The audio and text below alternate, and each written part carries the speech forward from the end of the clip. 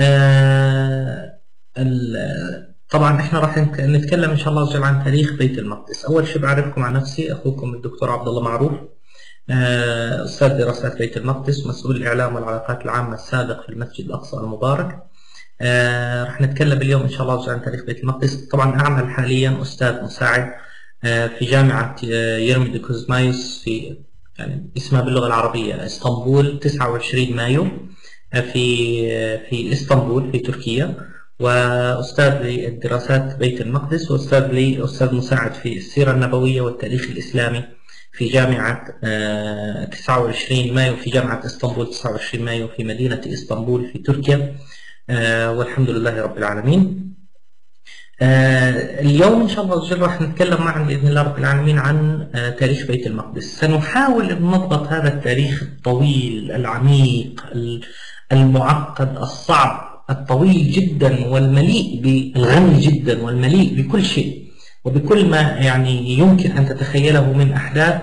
سنحاول أن نضغط هذه الفترة الطويلة ستة آلاف سنة في ساعتين. طبعا وهذا الأمر شبه يعني يعني هو معجزة بيكون إذا تم بهذا الشكل. آه لكن راح نحاول إن شاء الله بإذن الله رب العالمين. طبعا يفترض أنه ستكون عندكم مادة ما بعرف أنا أرسلت لكم أم لا لكن هي هناك مادة موجودة. يعني من أحب أن يقرأ مادة هذا الموضوع يعني كأني أرسلتها على ما أظن للإخوة في أكاديمية دراسات اللاجئين قبل المحاضرة. إن لم تكن قد أرسلت فأرجو تنبيه إخواننا في في إدارة الأكاديمية وسأرسلها لكم إن شاء الله عز وجل حتى ترسل إلى الجميع بإذن الله رب العالمين. ويستطيع الجميع قراءة, قراءة المادة بالكامل. لذلك أنا بدي إياك اليوم تركز معي تحديدا. الآن بدنا تركز معي حتى تشوف كيف سار تاريخ بيت المقدس في هذه الفترة الطويلة وكيف سارت الأحداث في بيت المقدس خلال هذه الفترة الطويلة. ولذلك علينا أن نسير معا بإذن الله رب العالمين في خلال هذه المادة بشكل جيد يعني بحيث أن نجمع المادة بقدر الإمكان بإذن الله رب العالمين. طيب أول ما نبدأ به هو أول تاريخ بيت المقدس. تاريخ بيت المقدس طبعا أنا أرجو منكم معذرة أنا سأضطر إلى وقف الكاميرا لأنه يبدو لي أنه عندي الكاميرا بتعمل ضغط على الشبكة أكثر من اللازم. فسأوقف الكاميرا من عندي يعني سأكمل صوتا والصورة في الشاشة البيضاء اللي أمامكم اللي ظاهر عليها الصور بإذن الله رب العالمين. فسأوقف الكاميرا.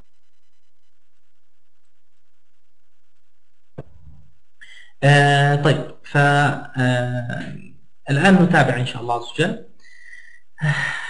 تاريخ بيت المقدس يبدأ فعليا قبل أن يصل البشر أصلا إلى مدينة القدس. يعني البشر وصلوا إلى مدينة القدس قبل ستة آلاف سنة ولكن ال ال ال أول بناء موجود وتاريخ المدينة نفسه القديم يبدأ منذ ما قبل ذلك بكثير. منذ اللبنة الأولى التي وضعت لأول مبنى بشري في أرض مدينة القدس وهي منطقة المسجد الأقصى المبارك. طبعا المسجد الأقصى المبارك على الأرجح بناه سيدنا آدم عليه الصلاة والسلام وليس سيدنا إبراهيم عليه الصلاة والسلام هو لا لا. هو على الأرجح سيدنا آدم عليه الصلاة والسلام وهناك أدلة كثيرة لسنا في معرض الحديث عنها الآن لأنه إحنا هنا عاملين مسطرة تاريخية ضمن هذه المادة يعني بنمشي فيها دون يعني تركيز في الاستدلالات وغيره وإنما نريد أن يكون عندنا رواية متكاملة مترابطة لتاريخ بيت المقدس في هذه الفترة الطويلة منذ دخول البشر هو بناء أول مبنى بشري. وهذا المبنى البشري كان بناء سيدنا آدم عليه الصلاة والسلام للمسجد الأقصى المبارك الذي هو طبعا المساحة كاملة يعني منطقة السور المنطقة المسورة بالكامل التي مساحتها 144 دنم هذه المساحة كلها هي مساحة المسجد الأقصى المبارك. وبناية وبناء المسجد الأقصى كان قد تم على يد سيدنا آدم عليه الصلاة والسلام قبل أن يصل البشر أول مرة. أول مجموعة بشرية وصلت إلى هذه البقعة هي اليبو الكنعانيون. الكنعانيون العرب. وهم عرب بمعنى ليست اللغة التي نعرفها اليوم. لغة يعرب بن قحطان اللغة العربية أو لغة قريش. طبعا لا ليست مثلها وإنما لغة عربية قديمة. فيها تعبيرات قريبة جدا للتعبيرات الحالية. يعني مثلا كلمة عالي هي كلمة صهيون وهو الجبل المعروف باسم جبل صهيون. هذا الجبل سنضع لكم الآن إشارة عليه. آه لون الخط أحمر حجم الخط كبير. آه هذا هو. لونه أحمر بحجم كبير لحد ما. هذا جبل صهيون أو هيك صار كبير هذا هو جبل صهيون. جبل صهيون سمي بهذا الاسم عند العرب الكنعانيين لأنه كان آه جبل آه عالي. فكلمة صهيون تعني المرتفع. إخوان أنا الميكروفون بعيد عني أصلا يعني مش قريب مني. أخت رويدة الميكروفون بعيد عني وليس قريبا. وأنا يعني. يعني بتكلم من الإنترنت. أتكلم مرة ثانية. الأخ بيقول أحمد فواز بيقول الصوت عند المعظم مش واضح. إخواننا الصوت اللي صوته مش واضح الصوت مش واضح جدا عنده. رجاء نكتب لي رقم اثنين. اللي الصوت واضح عنده رجاء نكتب لي رقم واحد.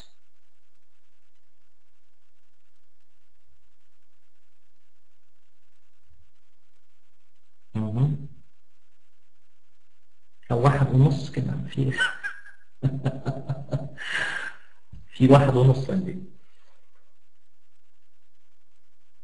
يعتمد على سرعة النت. يعني هي يبدو لي يعتمد الموضوع على سرعة الإنترنت يعني. لكن آه يعني آه, آه نعم أختنا كميلة تقول أخفض الصوت من أعلى الشاشة اللي هي صوت السماعة الزرقاء يصبح الصوت ممتاز. طيب الحمد لله. يعني سأكمل إذا إن شاء الله عز وجل. فجبل صهيون سمي صهيون باعتبار إنه إيش؟ إنه مرتفع. فكلمة صهيون من هنا جاءت كلمة صهوة الفرس مثلا. صهوة الحصان ركب صهوة الجواد صهوة بمعنى الارتفاع مرتفع.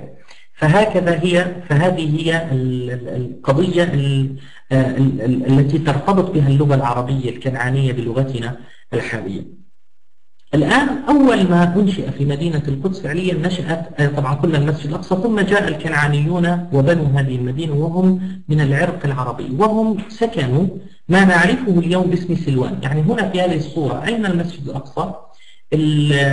الخط الذي سيظهر لكم الآن باللون الأزرق هذه المنطقة باللون الأزرق. هذه المنطقة تقريبا فيها يقع المسجد الأقصى. المبارك. المنطقة اللي ظهرت عندكم الآن باللون الأزرق هي منطقة المسجد الأقصى المبارك. أما السلوان فهي التي في الأمام التي تظهر فيها الأبنية وهذه أول مدينة كانت مدينة القدس الأولى التي أنشئت وكان أول اسم عرف للمدينة اسم أور سلم أور سلم بمعنى مدينة السلام مدينة السلام. نعم أنا رسمت خارج الخريطة. نعم لأنه المسجد الأقصى بس طرفه فقط هنا. موجود. آه، فأنا رسمت برا الصورة كلها يعني حتى حتى نعرف بشكل عام المسجد الأقصى بشكل عام. فالآن أور سلم أول اسم آه، أنشئ أو يعني وجد لمدينة القدس وهو نفسه اسم الذي يطلق اليوم من قبل بعض الناس أورشليم أو Jerusalem أو يروشلايم. كلها أصلها كلمة أور سلم أور سلم أول اسم لمدينة القدس. وهذه أورسلم كانت هي المدينة الموجودة اليوم في منطقة سلوان وللعلم الحفريات الصهيونية كشفتها بالكامل. كشفتها لنا بالكامل وتقريبا بالكامل واليوم اليهود بيسموها مدينة داود علما أنه ما لها علاقة بسيدنا داود عليه الصلاة والسلام إلا أن سيدنا داود عليه الصلاة والسلام قد سكن فيها واتخذها عاصمة له. فاليهود بيجوا بيسموها مدينة داود سوزان تسأل هل هي هل هذا الاسم أقدم من اسم يبوس؟ ليس فقط أقدم من اسم يبوس هناك هناك نقاش في التاريخ بأنه اسم يبوس هل كان موجودا فعلا أم لا؟ أنا شخصيا أميل إلى وجود الاسم. نعم اسم يبوس كان موجود ولكن هناك بعض الآراء آه تقول أنه الاسم يبوس غير موجود أو لم يرد لمدينة القدس والسبب في ذلك أنه لم يرد إطلاقا إلا عند التوراة. عند نص التوراة الذي ذكر كلمة اليبوسيين واسم مدينة يبوس باسم طبعا مدينة اليبوسيين هكذا. فبالنهاية يعني ليست عندنا مشكلة سواء كان الاسم موجودا اسم يبوس أو غير موجود لكن أول اسم فعليا عرف لمدينة القدس هو على الأرجح أور سلم وليس يبوس أور سلم طيب الآن سكنها العرب الأوائل وكانوا على الأرجح موحدين لأنهم عندما جاءوا لأرض المسجد الأقصى المبارك هذه المنطقة هنا أرض المسجد الأقصى المبارك كلها عندما جاءوا إليها لم لم يبنوا فيها أي بناء وإنما اعتبروها منطقة مقدسة اعتبروها منطقة مهمة جدا مقدسة وسموها آه، موريا. موريا هنا تعني آه، المختار المختار. موريا اسم يسمى يعني المختار وبالتالي اعتبرت هذه المنطقة منطقة مختارة من الله عز وجل ولذلك كانت منطقة مقدسة. وأنا أعتمد على هذه النقطة في تسمية هؤلاء الناس باعتبارهم باعتبارهم موحدين. بقيت الأحداث على هذه الأمور على هذه النقطة حتى بعث سيدنا إبراهيم عليه الصلاة والسلام وجاء وزار مدينة القدس وزار فلسطين. طبعا لأنه هاجر إلى فلسطين مصداقا لقول الله عز وجل ونجيناه أي إبراهيم عليه الصلاة والسلام ولوطا إلى الأرض التي باركنا فيها للعالمين. فلذلك فلذلك آه يعني قضية ال ال سيدنا إبراهيم عليه الصلاة والسلام هو أنه زار هذه المنطقة بالتالي كانت كانت المنطقة مرحبة به وهذا أكبر دليل كلمة ونجيناه تدل على أن المنطقة كان فيها نجاة وترحيب بسيدنا إبراهيم عليه الصلاة والسلام وهكذا كانت القضية من الواضح أنه أنها كانت مقبولة عند الناس هناك وهذا ما يدل على أنهم كانوا موحدين. بعد سيدنا إبراهيم عليه الصلاة والسلام طبعا جاء له ولدان ولد أول هو إسماعيل عليه الصلاة والسلام والولد الثاني هو من؟ وإسحاق عليه الصلاة والسلام. الولد الأول كان مكانه عند المسجد الأول اللي هو مسجد الحرام. وضع إسماعيل عليه الصلاة والسلام عند المسجد الحرام لأنه المسجد الأول المسجد الأكبر. وهذا هو الولد الأول الأكبر. والولد الثاني الأصغر وضع عند أو كان عند المسجد الثاني الأصغر المسجد الحرام المسجد الأقصى عفوا لأنه ولد لأنه بني بعد المسجد الحرام بأربعين سنة. فهكذا كانت القضية طب لماذا كان يجب أن يكون هناك ولد أول في عند المسجد الحرام وولد ثاني عند المسجد الأقصى؟ السبب هو أنه كانت النبوة بعد إبراهيم عليه الصلاة والسلام في ذرية إبراهيم عليه الصلاة والسلام. يقول الله عز وجل قال إني وإذ ابتلى إبراهيم ربه بكلمات فأتمهن. قال إني جاعلك للناس إماما إمام للناس. قال ومن ذريتي؟ قال لا ينال عهد الظالمين. فالذرية انتقلت إليها النبوة إن الله اصطفى آدم ونوحا وآل إبراهيم. بعدين مين وآل عمران على العالمين ذرية بعضها من بعض. آل عمران فقط أربعة اللي هم عمران وزوجته وأختها وزكريا عليه الصلاة والسلام وأبنائهم اللي هم يحيى ومريم وعيسى عليهم الصلاة والسلام جميعا.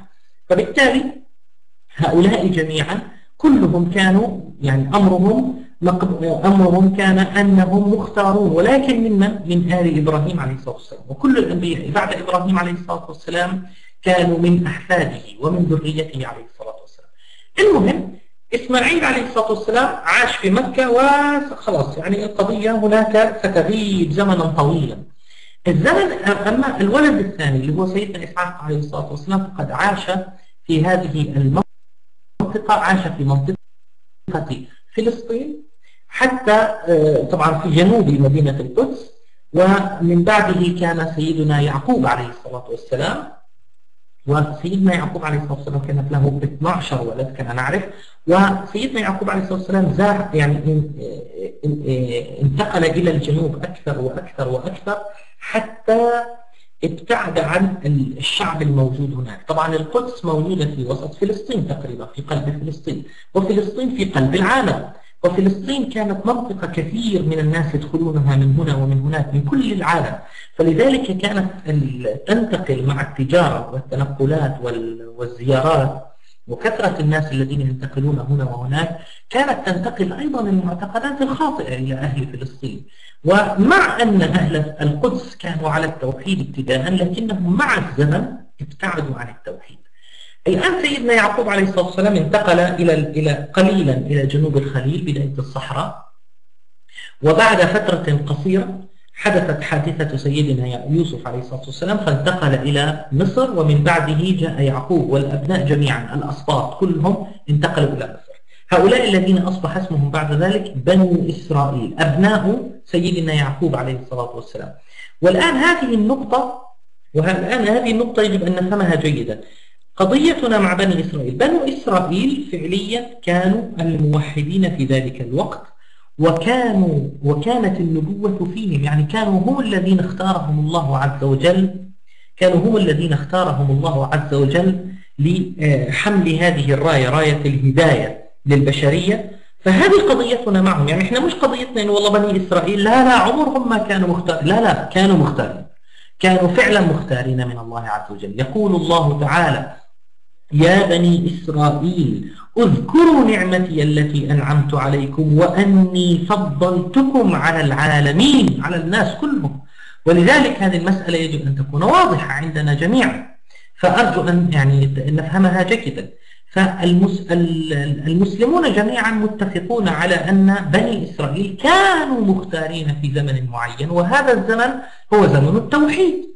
لكن شو مشكلتنا معهم؟ إنه هذول الناس ابتعدوا عن دين الله عز وجل. ظنوا أن الاختيار هذا مرتبط بشخوصهم ليس مرتبطا بطبيعة آه، الدعوة. يعني ليس مرتبطا بواجب.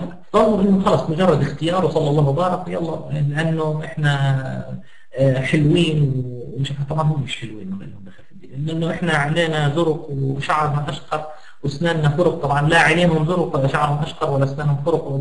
بسم الله الرحمن الرحيم. الله يكفينا شره المبدأ المبدأ إنه هذول الناس ظنوا أن الاختيار هو اختيار شخصي فقط وليس مرتبطا بمهمة. يعني هم ما عندهم شيء اسمه قانون الاستبدال. نحن نحن استبدل الله استبدلنا الله بهم. طبعا الباء دائما للمتروك لما يقال استبدل الباء للمتروك يعني نحن الذين كنا بدلا منهم. فهم ظنوا فهموا الرسالة خطأ ولذلك طغوا في الأرض وبغوا في الأرض وعصوا الله عز وجل. مثل ما تفضلت نعم كما قال تقول أختنا منيرة صحيح.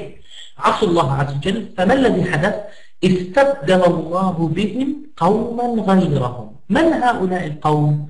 أمة محمد صلى الله عليه وسلم. وهذا القانون سجله القرآن يقول الله عز وجل وإن تتولوا يستبدل قوما غيركم ثم لا يكونوا أمثالكم. فلذلك القرآن الكريم ما أعطانا أي قانون في القرآن إلا وأعطانا له دليلا وأعطانا له مثالا حيا. المثال الحي على قضية الاستبدال كان من بنو إسرائيل. هذه هذه القصة يجب أن نفهمها جيدا هذه النقطة لازم نفهمها كلياتها جيدا. الآن انتقل بنو إسرائيل أبناء سيدنا يعقوب عليه الصلاة والسلام والأسباط انتقلوا اللي هم الأسباط الاثني عشر كلهم كانوا في مصر وسيدنا يعقوب عليه الصلاة والسلام كان في مصر. ومات عليه الصلاة والسلام في مصر ومات سيدنا يوسف عليه الصلاة والسلام في مصر. ولهذا أنا بقول يعقوب عليه الصلاة والسلام يقينا ليس مدفونا في فلسطين. إحنا اللي مدفون في في في الخليل في مدينة الخليل على اليقين هو سيدنا إبراهيم عليه الصلاة والسلام وأيضا سيدنا إسحاق عليه الصلاة والسلام. أما سيدنا يعقوب فليس مدفونا هناك. وأيضا سيدنا يوسف عليه الصلاة والسلام ليس مدفونا في فلسطين. المدفن الموجود في نابلس باسم قبر يوسف ليس قبر يوسف عليه الصلاة والسلام. الاثنان دفنا وين؟ في مصر مصداقا لحديث النبي صلى الله عليه وسلم الذي رواه أبو بكر رضي الله عنه. نحن الأنبياء ندفن حيث نموت. أما معلومة أنه والله آه، سيدنا موسى لما خرج من مصر حمل معه عظام جده. لاحظوا كلمة عظام. الأرض لا تأكل أجساد الأنبياء بس. الرواية إيش بتقول؟ حمل معه عظام أبيه يوسف وجده يوسف ويعقوب وحملوه بعد راحوا دفنوه في فلسطين. كلام فارغ هذا كلام التوراة. والتوراة محرفة ونحن لا نقبل هذا الكلام الفارغ. الأنبياء يدفنون حيث يموتون. والأرض حرم عليها جسد الأنبياء. لا لا تأكل أجساد الأنبياء. ولا ينقل أحد النبي من مكان إلى مكان. فالنبي يدفن حيث يموت. هكذا هو قانون النبوة. هذا القانون حدده النبي صلى الله عليه وسلم. المهم إنه سيدنا يعقوب عليه الصلاة والسلام توفي هناك وسيدنا يوسف عليه الصلاة والسلام توفي هناك وعاش بنو إسرائيل في مصر. في ذلك الوقت لما جاء سيدنا يوسف عليه الصلاة والسلام لم تكن مصر محكومة من قبل المصريين الفراعنة وإنما كانت محكومة من قبل الهكسوس. أنا كنت قديما أظن أن الهكسوس هم قوم من أوروبا أو جماعة أوروبيين. حتى وجدت بعض الروايات الموجودة تتحدث عن أصول كلمة هكسوس في اللغة الهيروغليفية فوجدنا أنه لا الكلمة هذه أصلها القوم القادمون من الشرق. طلع مين الهكسوس على الأرجح؟ هم أهل الشام. كانوا قد احتلوا مصر في ذلك الوقت الشاميون. ولذلك اعتبرهم المصريون قادمين من الخارج. وهذا هو السر في سهولة التنقل بين مصر والشام في ذلك الوقت حسب ما يروي حسب ما تبدو واضحة في آه، الروايات الموجودة في آه، القرآن الكريم. بالنسبة لسؤال أختنا رويدة العمالقة. هذه كلمة عمالقة الآن سأتكلم عنها. فالمهم آه، المهم أنه الهكسوس هم أهل الشام. كانوا يحكمون مصر. ففي ذلك الوقت انتقل بنو إسرائيل من فلسطين إلى مصر. إلى لا الشرق ليس شرق الجزيرة العربية شرق مصر وهي الشام. طبعا منطقة شرق مصر هي الشام. هي المنطقة الوحيدة المرتبطة معها برا وليس بحرا. فالمهم أنه آه، بعد أن زال الاحتلال الهكسوسي وقامت ثورة آه، أحمس التي أعادت الحكم للمملكة الفرعونية للمملكة الفرعونية الآن عاد الحكم للأغلبية. فنظرت الأغلبية المصرية إلى بني إسرائيل على أنهم من بقايا الهكسوس من بقايا الاحتلال. فاضطهد بنو إسرائيل. طيب فبدأ الاضطهاد في بني إسرائيل. نأخذ فلاش ونيجي على بيت المقدس التي يسكنها من؟ قلنا الكنعانيون العرب. في ذلك الوقت في ذلك الوقت كان الأمر بعيدا جدا جدا عن عهد الأنبياء. يعني منذ زمن طويل توفي سيدنا إسحاق عليه الصلاة والسلام. ومنذ زمن طويل خرج آه، سيدنا آه، خرج سيدنا يعقوب عليه الصلاة والسلام من أرض فلسطين. يقولوا لي الصوت فيه تضخيم كيف يعني الصوت فيه تضخيم يا إخوانا ما فهمت. وهاي راح أخفف الميكروفون إلى النص. خفضنا الميكروفون إلى النص. طيب. المهم نكمل إن شاء الله عز وجل. إذا واحد عنده أي ملحوظة أعتقد خلاص. إخواننا ترديد الصوت أنا مستغرب يعني مش لهالدرجة. أنا مش قاعد في قاعة يعني يعني كلها مترين ونص تقريبا في أربعة متر. ف... طيب خير إن شاء الله. آه طيب نكمل إذا آه لا واضح إنه الجميع عنده الصوت واضح. الحمد لله. الأغلب خلينا أقول مش الأصح يعني. الأغلب عنده الصوت واضح. آه الحمد لله. طيب الآن إذا آه آه نكمل. نسيتونا ويكون نعم آه, آه فبالتالي إنما الآن اضطهد بني إسرائيل نخرج فلاش لمين؟ لمنطقة بيت المقدس. منذ زمن طويل خرج منها الأنبياء لم يعد فيها أنبياء ولم يعد فيها نبوات. وبالتالي من الطبيعي أن البشرية فيها تضل تضل تضيع تروح. وهذا ما حدث في فلسطين. ظل الكنعانيون وابتعدوا ودخل فيهم الكفر والشرك وإلى آخره حتى صار بيت المقدس لأول مرة في تاريخها. تحتاج فتحا إسلاميا فتحا توحيد عفوا توحيديا. فيعني تحتاج أن يكون هناك موحدون يعني يعيدون إليها التوحيد. هنا تأتي دعوة موسى عليه الصلاة والسلام. دعوة من؟ موسى عليه الصلاة والسلام في مصر الذي بعث ليخرج من إسرائيل. من مصر؟ إلى فلسطين حتى يفتحوا تلك الأرض. الآن هنا بيجينا بعض الروايات اللي بتقول طبعا إنه القوم اللي موجودين في فلسطين كان اسمهم العمالقة أو العماليق. ليس عندنا شيء في القرآن اسمه العمالقة ولا العماليق. هذه مجرد يعني روايات شعبية.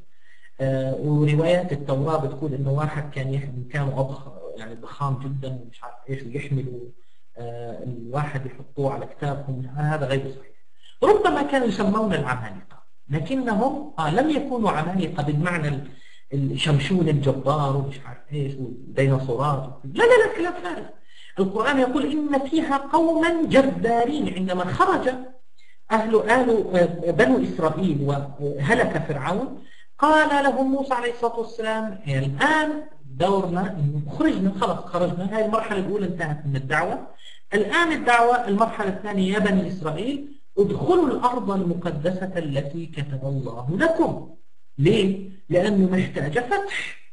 بينما الرد على أخونا عبد الحي الكعبة مش محتاجة فتح كانوا موحدين أصلا في ذلك الوقت. وأيضا البشرية في ذلك الوقت كان ميدان الصراع فيها. ميدان ما مش ميدان الصراع ميدان العمل الأساسي هو الأرض التي تمثل البشرية كلها وهي أرض بيت المقدس لأنها تمثل البشرية. أما أرض الكعبة فهي تمثل الكعبة تمثل العلاقة مع الله عز وجل الألوهية. هذا الأمر يعني صعب أني أدخل فيه بالتفاصيل بسبب ضيق الوقت يعني ما فأرجو معذرة فالمهم أنه كان يجب أن ينتقل إلى إلى القدس ليفتح بيت المقدس ويعيد إليه التوحيد. طلعوا بني إسرائيل يقولوا آه هو أنت طلعنا من مصر عشان نروح نقاتل لاش يا حبيبي هذا الكلام غير مقبول. إنا لم ندخلها أبدا ما داموا فيها. فاذهب أنت وربك فقاتلا إنها هنا قاعدون. فلذلك عوقبوا بالتيه حتى يتغير الجيل. بعد أربعين سنة يتغير الجيل ويظهر جيل آخر جديد. هذا الجيل يستحق أن يدخل إلى هذه الأرض. فلما ظهر هذا الجيل دخل هذه الأرض وبقيادة طالوت الذي أرسل له ملكا. هنا أنا لا أخذ رواية التوراة اللي بتقول والله أنهم دخلوا أريحة بقيادة يوشع بن نون وبعد وذبحوا سكانها عن بكرة أبيهم ثم سكنوا فيها أربعمائة سنة وحتى دخلوا القدس. إخواننا بين بين أريحة ومدينة القدس 25 كيلومتر فقط 25 كيلومتر. 25 كيلو متر مش 1000 كيلو متر لا. معقول 25 كيلو متر تحتاج إلى 400 سنة؟ كلام فارغ هذا. فبالتالي نعم أخي الفاضل محمد العملية بالنسبة إلى ذرية عملية ابن لاول ابن إرم ابن سعد وهذا كله إسرائيليات. أنا لا أقبلها لا أقبل هذه الروايات فهذه من الإسرائيليات وليست وليس لها أي دليل إطلاقا وهي روايات شعبية أساسا.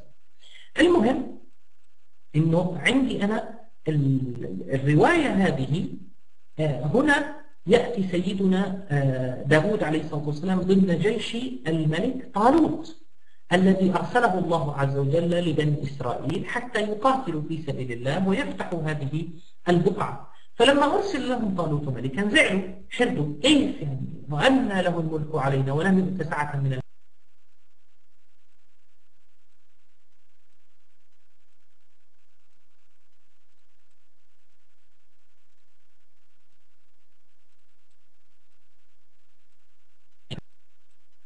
نعم عفوا. الصوت ما في واحد بعث لي دعوة صوت ما بعرف دعوة فيديو مش عارف من وين فراح الصوت من عندي. فالله المستعان. آه، طيب المهم يعني أعدت الكاميرا أعدت الميكروفون أغلق المايك فأعدته الآن إذا آه، آه، لما تقابل الجيشان جيش جالوت اللي هو الكنعاني الكافر مع جيش طالوت المؤمن الموحد انتصر جيش طالوت المؤمن الموحد وآتى الله الملك لسيدنا داود عليه الصلاة والسلام فكان هو الذي دخل بيت المقدس وفتح مدينة القدس وفتح المسجد الأقصى المبارك. أول مرة في التاريخ. لذلك إخواننا إيش بنقول إحنا؟ أول دعو أول فتح في التاريخ لهذه الأرض كان فتح سيدنا داود عليه الصلاة والسلام. فتح داود عليه الصلاة والسلام النبي. وهذا الكلام كان له أثر عند عمر بن الخطاب رضي الله عنه. عشان هيك عمر رضي الله عنه لما صلى في المسجد الأقصى لما فتح القدس آه، صلى في المسجد الأقصى المبارك أول ركعتين. في الركعة الأولى قرأ سورة الإسراء وفي الركعة الثانية قرأ سورة صاد. ليش صاد؟ لأنها قصة داود عليه الصلاة والسلام. بل إن فيها سجدة عند أغلب العلماء هناك سجدة هي سجدة داود عليه الصلاة والسلام. فهذه الإشارة كانت من عمر بن الخطاب رضي الله عنه بترداد من؟ قصة سيدنا داود. إنه الفتح الأول كان فتح داود الفتح الثاني كان فتح عمر رضي الله عنه وأرضاه. والفتح الثالث كان فتح صلاح الدين ونحن الآن في عهد الفتح الرابع من تاريخ البشرية. لكنه الفتح الثالث في تاريخ أمتنا إحنا الشخصية يعني من عهد النبي صلى الله عليه وسلم. فالآن ونحن في هذا العهد. يعني هذا العهد كيف الآن إحنا بنتذكر نقول بعد 3000 سنة سيدنا داوود عليه الصلاة والسلام وبعد 1400 سنة سيدنا آه، عمر بن الخطاب رضي الله عنه بعد 800 سنة بنقول آه، آه، صلاح الدين رضي رحمه الله وتقبله ورضي عنه أيضا. نحن الآن بعد سنوات طويلة إن شاء الله عز وجل سيقال الفتح الثالث في تاريخ أمتنا والفتح الرابع في التاريخ البشري. يعني شوف إحنا قديش يعني رب العالمين أكرمنا بأننا في هذا الزمان الطيب زمان الفتح مع إنه صعب يعني لكنه زمان الفتح القريب القادم بإذن الله رب العالمين وأرجو المعذره من الأخ عامر أنا لن ادخل في قضية العلو الثانية من أول لأن القضية لي فيها رقم آخر. طيب معلش حتى أحافظ على التركيز الله يكرمك إن شاء الله. فالمهم فدخل سيدنا داود عليه الصلاة والسلام وبالتالي حكمت المدينة. ماذا كان هذا الفتح؟ يعني ماذا نسمي هذا الفتح؟ فتح إيماني توحيدي. واضح؟ فتح إيماني توحيدي. هذا رقم واحد. رقم اثنين سيدنا داود عليه الصلاة والسلام دخل مدينة القدس كان معه بني إسرائيل وهم أقلية. طب والسكان؟ وين موجودين؟ السكان بقوا كما هم. السكان بقوا كما هم. طبعا هل يوجد أي أثر يعني موجود من عهد سيدنا داود عليه اسمه؟ لا. ليش؟ ليش؟ لأنه في في حالات الفتح في العادة بيكون المرحلة مرحلة انتقالية فالمرحلة الانتقالية ما بتكون فعليا مرحلة استقرار وهدوء. طب ليش سيدنا سليمان عليه الصلاة والسلام ما وجدنا له أي أثر؟ آه هنا عاد النقطة الثانية. سيدنا سليمان عليه الصلاة والسلام حكم بعد سيدنا داود عليه الصلاة والسلام ورمم المسجد الأقصى بنص حديث النبي صلى الله عليه وسلم الصحيح الذي يقول عندما فرغ سليمان من بناء بيت المقدس أي المسجد الأقصى. مش بناء ابتداء بناء تجديد. هنا سأل الله خلالا ثلاثة. ها إلى آخره. المبدأ أنه هذا الحكم حكم سيدنا سليمان عليه الصلاة والسلام حكم مستقر وهادئ جدا. طيب لماذا لا نجد أثرا لسيدنا سليمان عليه الصلاة والسلام؟ وين الآثار تبع سيدنا سليمان؟ ادخلي الصرح برج من من الزجاج. في حسب الآية في سورة النمل. طيب آه إيش كمان عندنا؟ يعملون له ما يشاء من محاريب وتماثيل وجفان كالجواب وقدور الراسيات راسخة الأرض. اعملوا آل داود شكرا وقليل من عبادي الشكور هذه الآية بتدلنا على أنه كان في أشياء ضخمة في عهد سيدنا سليمان. لماذا لم نجدها في العالم كله إخواننا؟ بكل بساطة. لأن سيدنا سليمان عليه الصلاة والسلام ماذا قال؟ حسب النص في الآية وحسب النص في الحديث ماذا يقول؟ يقول وهب لي ملكا لا ينبغي لأحد من بعدي. لا ينبغي لأحد من بعدي. النقطة السؤال مطروح يعني لا نريد أن نكمل الآية نكمل الجملة. لا ينبغي لأحد من بعدي أن أن إيه؟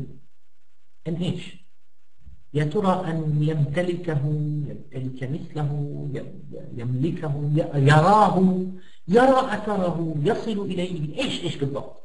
كل شيء. كل الكلام اللي بتقولوه إجابته صحيحة. يصل إليه يحتفظ به آه يراه يرى مثله. ليه؟ فهي هي دعوة مطلقة. فالإجابة فيها كانت مطلقة. الدعوة من سيدنا آه، سليمان عليه والسلام مطلقة. خلاص. والإجابة كانت مطلقة. خلاص. طب كيف اختفى؟ كيف راح؟ مع الزمن انتهى. اختفى تماما. ليس هناك أي أثر بسيدنا سليمان عليه الصلاة والسلام. وبالتالي والدكتور أحمد نوفل له كلمة جميلة يقول التاريخ مختبر القرآن. التاريخ مختبر القرآن. إخواننا لم نجد أي أثر لسيدنا سليمان عليه الصلاة والسلام. وهذا ما حدث لبعض الكتاب والعلماء والمؤرخين الغربيين خاصة منهم العلمانيين إلى أن يصلوا إلى نتيجة يقولون فيها أنه سليمان خرافة ليس موجودا. مش مش صحيح. وبعضهم بيقول إنه والله سليمان يعني بنى الأقصى وجددوه لكنه الهيكل وهيكل ومش هيكل ومش عارف إيه وبناه في نابلس وبعضهم بيحكي لك لا والله ارموا بناكوا على اليمن بناه في اليمن والثاني بيقول لك لا يا عمي ارموا بناكوا على السعودية بناه بناه في الحجاز. وبعضهم بيقول لك لا والله هو بناه في تدمر يلا نزلتوا بناكوا على سوريا. على أساس إنه سوريا ناقصها. إخواننا إخواننا فيش شيء اسمه هيكل أصلا ولا شيء اسمه معبد ولا شيء كلام فارغ. سيدنا سليمان عليه الصلاة والسلام جدد بناء المسجد الأقصى. بس انتهت. وحتى عند اليهود لا يوجد شيء اسمه أصلا هيكل في لغتهم يسمونه بيت همكداش بيت المقدس. كلمة هيكل جاءت من خلل في الترجمة. بس. أوبس معقول؟ نعم معقول. هذا الكلام فيه حديث طويل ليس مجاله الآن. المهم بس نفتح لكم أبواب هيك وبعدين بتبحثوا فيها. أو في زمن آخر أو في وقت آخر إن شاء الله يعني يمكن أن يتحدث عنه بإذن الله. المهم أنه بعد وفاة سيدنا سليمان عليه الصلاة والسلام إن لا غير صحيح. أخي أحمد دلول بعض المصادر تتكلم أن مملكة سليمان كانت خارج فلسطين ومدى صحة هذا القول. أه بويرن دقيقة بعد إذنكم.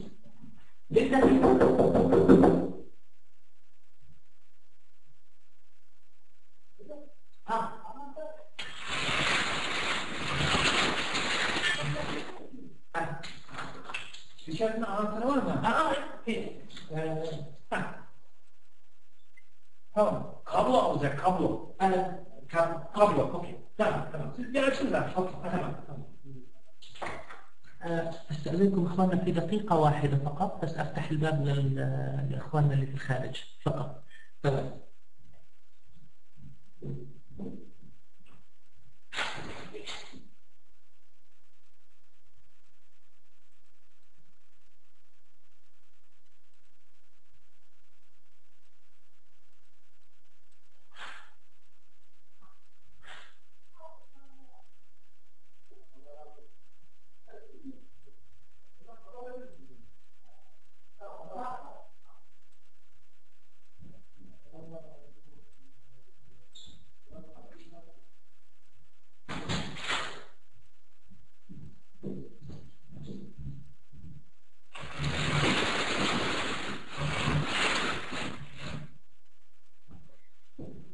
السلام عليكم.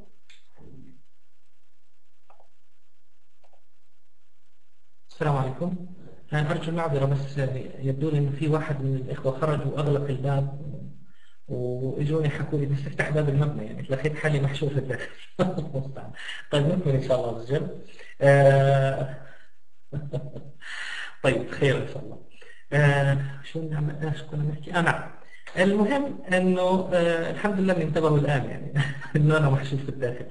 آه طيب نكمل الآن إن شاء الله وجل آه المهم إنه آه وين إحنا وصلنا؟ آه نعم بعد وفاة سيدنا سليمان عليه الصلاة والسلام. بعد وفاة سيدنا سليمان عليه الصلاة والسلام آه انتهت المملكة الكبيرة جدا لسيدنا سليمان عليه الصلاة والسلام. طبعا سيدنا سليمان كان قد رأى الناس منه الشيء العظيم من المعجزات. وقبله سيدنا داود عليه الصلاة والسلام يا جبال أوبي معه وألنا له الحديد. سيدنا سليمان عليه الصلاة والسلام وأسلنا له عين القطر. وسيدنا سليمان عليه الصلاة والسلام يعني كان يكلم الطير ويفهم يأمر الريح إلى آخره والجن والإنس والشياطين والدنيا والعالم يعني شيء مذهل. كيف سينظر العرب الكنعانيون إلى هذا الرجل العظيم سليمان ابن الرجل العظيم داود؟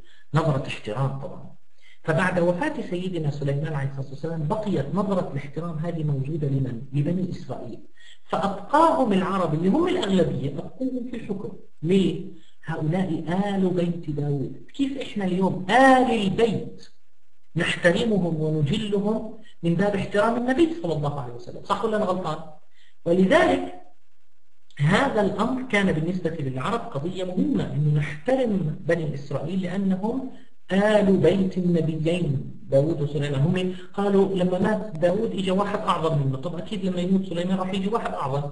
لكن هم ما عرفوا أنه الذين جاءوا من بعدهم لم يكونوا أنبياء وإنما كانوا من بني إسرائيل عاديين الذين فسدوا وابتعدوا عن دين الله عز وجل وانقسموا في مملكتين في فلسطين وانشقت الممالك كلها وابتعدت. ولم يبقى لبني إسرائيل حكم في هذه الأراضي إلا في داخل فلسطين وانشقوا على أنفسهم في مملكتين واحدة في الشمال اسمها مملكة إسرائيل عاصمتها شكيم أو نابلس والثانية في الجنوب اسمها مملكة يهوذا عاصمتها أورشليم القدس. هاتان المملكتان سقطتا متتابعتين. المملكة الأولى سقطت على يد الأشوريين والمملكة الثانية عاصمتها القدس سقطت على يد البابليين كما نرى في هذه الصورة على يد نبوخذ نصر الذي هاجم فلسطين واكتسح منطقة الشام والأناضول بالكامل ومصر اكتسح هذه المناطق ودخل إلى مدينة القدس. على يد الأولى سقطت على يد الآشوريين والثانية سقطت على يد البابليين. فنبوخذ نصر عندما دخل مدينة القدس طبعا وجد فيها سكان طرفين. الطرف الأول السكان العاديين اللي هم مين؟ اللي هم آه، العرب الموجودين الأغلبية والطرف الثاني الحكام اللي هم مين؟ بني إسرائيل ولذلك فقد قام ب طبعا على عادتهم ما الذي كانوا يفعلونه؟ لم يكونوا في ذلك الوقت يهاجمون الشعوب ويخرجونها بالكامل لا كانوا يتعاملون مع من مع الحكام. ولذلك كان الحكام اللي موجودين في ذلك الوقت في داخل آه، فلسطين هم بنو إسرائيل. فلذلك نفي بنو إسرائيل وأخرجوا من القدس إلى بابل. أخرجوا إلى بابل. وهذا ما يسمى بالسبي البابلي. وبقي وبقي سكان القدس الكنعانيون فيها وعين عليهم حاكم من البابليين. بعد سنوات طويلة اجتاح الفرس اجتاح آه، الفرس هذه المناطق كاملة ودخلوا آه، بابل وأسقطوا الإمبراطورية البابلية وكان ذلك بقيادة قرش الفارسي لأن قرش الفارسي لما وصل إلى بابل وجد فيها مجموعة كانوا سلالة ملكية مين؟ بني إسرائيل كانوا سلالة ملكية طبعا وبيعرف أنه هذول من وين أخذوا؟ أخذوا من داخل القدس وفلسطين ونقلوا إلى بابل. الآن هي فرصة. الاحتلال ما الذي يفعله في العهد؟ بيجيب أفضل شيء الاحتلال الرخيص اللي هو إني أجيب أنا مجموعة أقلية مجموعة بشرية من الأقليات أسلمها حكم منطقة. أنا بحط حاكم على منطقة. هذا ال ال ال الأقلية اللي لما تصير حاكمة على منطقة أنا أحطها عليها بتضل محتاجة لي صح؟ بتضلها محتاجة لي فلذلك بتضل مرتبطة بالاحتلال. هكذا أصبح بنو إسرائيل عبارة عن إيه؟ وكلاء عن الاحتلال. وبالتالي فهم ليسوا حكاما وإنما وكلاء عن الاحتلال. فصاروا مثل يعني كيف العنقة اللي بيجي بيلزقوها عشان يمتصوا الدم فعليا؟ هذه هي. آه بالضبط. لكن آه الآن القضية وين؟ إنه أنا بجيب الأقلية هاي فقالوا لهم إذا بدكم ترجعوا من بابل إلى القدس تفضلوا ارجعوا تستلموا الزعامة الدينية على المنطقة. طبعا عاد السكان العرب في ذلك الوقت إلى الوثنية وعاد المصلحون من بني إسرائيل الموحدون اللي لسه فيهم خير عادوا إلى القدس والعلم كان عددهم قليلا. فلما عادوا سلمت لهم القيادة الدينية في المدينة بحيث أنهم يديروا شؤون المنطقة وهذا الأمر يريح الفرس من الحكم المباشر ومن أي إشكاليات مباشرة مع السكان الأصليين اللي هم الأغلبية الساحقة العرب الموجودين في المنطقة. هذا الأمر استمر حتى سقطت المنطقة بالكامل تحت حكم تحت عاصفة إذا بصح نسميها عاصفة الحكم اليوناني بقيادة اسكندر المقدوني الذي هاجم المنطقة بالكامل واجتاح كل هذه الأراضي قادما من مقدونيا قادما من منطقة بحر إيجا اجتاح كل هذه المناطق وحكم مدينة القدس وكل ما حولها حتى دخل مناطق الفرس وحتى وصل إلى الهند. يعني وصل إلى الهند في منطقة يعني في فترة قصيرة جدا. وهذا الرجل كما كان عاصفة سريعة جدا في بدايته نهايته أيضا كانت سريعة. مات بعد مسلم مات. ولم يكن متزوجا. وكان شابا صغيرا لم يكن متزوجا ولم يكن له أبناء ولم يكن له ولي للعرش فورث قادته ورثوا مملكة من اليونان غربا حتى الهند شرقا. شرقا جدا. فاقتسمها من قادته. القادة معا اقتسموها وبدأت الصراعات بين القادة كلهم. الإسكندر المقدوني مات والصراعات ودبت الصراعات بين قادته على المنطقة. وتحديدا في منطقة فلسطين كان الصراع الأساسي بين البطالمة أتباع أو أتباع القائد بطليموس والسلوقيين أتباع القائد سلوكس فالبطالمة والسلوقيون هم الذين اصطنعوا على مدينة القدس بشكل كبير جدا. وبنو إسرائيل صاروا يقفوا مع من؟ مع القوي اللي بيجي أهلا وسهلا اللي بيتجوز أمي بقول له يا عمي هيك بيقول المثل.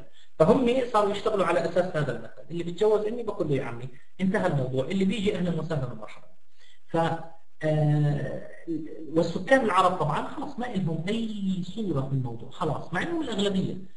فبالتالي الصراع بين اليونانيين أنفسهم والسكان العرب الطبقة الكبيرة المسحوقة ما حدش سائل فيهم وبنو إسرائيل يقفون مع القوي اللي بيجي أهلا وسهلا. ما عندي أي مشكلة. واضح؟ بعد 250 سنة من هذا الصراع الشديد بين في اليونانيين والحكم اليوناني في منطقة بيت المقدس فوجئ العالم كله بقوة صاعدة أيضا. أنهت الوجود الفارسي عفوا الوجود اليوناني وهي قوة الروم الذين دخلوا من روما قدموا إلى فلسطين ودخلوها ودخلوا مدينة القدس بقيادة القائد الروماني بومبي. القائد الروماني بومبي في سنة 70 قبل الميلاد. الرومان معروفون بميلهم للتعمير الكثير. يحبوا كثرة البناء بحيث يتركون لأنفسهم يعني آثارا كبيرة جدا جدا وقديمة جدا في وطويلة جدا بقيادة بومبي مرة أخرى بومبي فدخلوا مدينة القدس وفرضوا عليها الحكم الروماني. طبعا بمجرد ما فرضوا الحكم الروماني اليهود رحبوا فيهم. أهلا وسهلا مرحبا وينكم من زمان يا عمي؟ تعالوا ننتظركم. والعرب ما عندهم أي أثر إطلاقا خلص موجودين أهلا وسهلا ومرحبا. شو نعمل؟ تحت الاحتلال. فحكمت مدينة القدس وفلسطين من قبل الرومان. هذا الحكم استمر حوالي 600 سنة على فكرة. 300 سنة تقريبا حكم روماني آه، يدين بديانة الوثنية و300 سنة أخرى تقريبا بحكم بيزنطي آه، يدين بديانة المسيحية. فالحكم الروماني الوثني في في فترته بعد 70 سنة من بدايته طبعا توسعت مدينة القدس مثل ما بنلاحظ بهذه الخريطة توسعت كثيرا. لاحظوا صور المدينة الحالي وين بيجي يعني المدينة الحالية تقريبا حدودها تقريبا هنا بهذا الشكل. يجي بهذا الشكل. و... و... بهذا الشكل تقريبا اليوم تجي. وأرض المسجد الأقصى المبارك هكذا. هذه المدينة اللي في داخل الخط الأحمر الآن هي المدينة الحالية البلدة القديمة في القدس. لاحظوا أنها كانت أوسع من الشمال ومن الجنوب كانت أوسع تصل حتى عين سلوان من الجنوب وتصل حتى ما بعد منطقة المصرارة اليوم في في منطقة الشمال. فهذه هذا الشكل العام لمدينة القدس في ذلك الوقت يدل على اهتمام الرومان بالبناء والتعمير وفي هذه الفترة آه، ابتعد بنو إسرائيل جدا خلاص يعني صاروا بعيدين بعيدين كثير كثير كثير عن دين الله عز وجل فلم يقعد لهم أي وجود إطلاقا يعني ديني حقيقي ولم يعد يعني لم يعودوا موحدين فكان الإنذار الأخير من الله عز وجل لهم بأن أرسل إليهم سيدنا عيسى عليه الصلاة والسلام وسيدنا زكريا عليه الصلاة والسلام وسيدنا يحيى عليه الصلاة والسلام عليهم الصلاة والسلام جميعا. ثلاثة أنبياء دفعة واحدة وهذا بمثابة إنذار نهائي لبني إسرائيل. رفضوا هذا الإنذار وكانت النتيجة أنه يعني حاولوا أن يصلبوا المسيح عليه الصلاة والسلام وهم يقولون لاحظوا هم يقولون إنهم قتلوا زكريا عليه الصلاة والسلام وقتلوا يحيى عليه الصلاة والسلام. وبالتالي انتهى الأمر وانتهت الخيرية نهائيا في بني إسرائيل. خلاص ستنتقل القيادة البشرية الآن منهم إلى قوم آخرين وستنتقل من بيت المقدس إلى مكة. لكن هذه الفترة مش في يوم وليلة بدها 500 سنة تقريبا أو 600 سنة حتى تحدث. هذه هي الأحداث. طبعا الرومان لهم آثار كثيرة في فلسطين. القدس مثل مثلا مثل الكاردو. هذا الكاردو شارع معروف في مدينة القدس. آه لاحظوا كله مفروش بالأعمدة. آه كثير كبير جدا ومهم جدا. أيضا. وله أيضا آثار أخرى مثل قلعة القدس القلعة الوحيدة في مدينة القدس هي بناء روماني ليست بناء يعني متأخرة وإنما هي بناء روماني. طيب. سيدنا عيسى عليه الصلاة والسلام رفع إلى السماء ولم يعد هناك شيء في الأرض خلاص. انتهت الخيرية من بني إسرائيل. ستسحب منهم وسيخرجون وستنتهي النبوة فيهم تماما. لكن هذا مش بين يوم وليلة. سيدنا عيسى عليه الصلاة والسلام رفع سنة 33 ميلاد بعد حوالي كمان 33 سنة تقريبا و 35 سنة بعد رفعه عليه الصلاة والسلام قامت ثورة سميت الثورة المكابية. هذه الثورة لها أثر واحد اليوم في فلسطين وهذه الثورة هنا. آه لها اليوم أثر واحد مرتبط بهذه الثورة في فلسطين وهو جبل مسعدة قرب البحر الميت. هذه الثورة قام بها رجل اسمه يهودا المكابي. يهودا المكابي قام بها ضد الدولة الرومانية بزعم أنه كان يريد استقلال بني إسرائيل بحكم هذه الأرض. طب وين العرب؟ ولا شيء العرب صفر كانوا صفر عشر. في أي بلد جبل مسعدة في فلسطين قرب البحر الميت في فلسطين. فالثورة هذه قامت ضد الرومان فكان يريد استقلال ولذلك ضربت حتى يعني نقود ضرب اليهود نقودا مستقلة معلنين استقلال هذه المنطقة وكتبوا فيها يروشلم كدوش يعني أورشليم كدوش يعني القدس مقدسة وحدثت هذه الثورة التي استمرت ثلاث سنوات. لم يستطع أحد أن يوقفها حتى جاء الإمبراطور بسبسيان بنفسه ووصل إلى مدينة إلى إلى الأردن إلى الشام عفوا وجلس في الأردن وقيل إنه جلس في أذرعات في درعا. قيل إنه جلس في فيلادلفيا اللي هي عمان وقيل إنه كان في درعا أذرعات بغض النظر وأرسل لهم ابنه اللي هو هذا الرجل تيطس أرسل ابنه تيطس إلى فلسطين ليخمد هذه الثورة التي قام بها اليهود وقمعهم تيطس قمعا شديدا جدا. اسم الإمبراطور بس بس يعني اسمه صعب شوي معلش. فتيطس يعني دمر هذه ال الثورة وأنهاها ودخل المسجد الأقصى المبارك وأحرقه وأحرق مدينة القدس وأمر سكانها العرب بالخروج منها ثم ثم أعاد السكان العرب إليها وأعاد اليهود أيضا إليها ولكن لم يعد اليهود أي عين. يعني خلاص صاروا مكسورين زيهم زي العرب.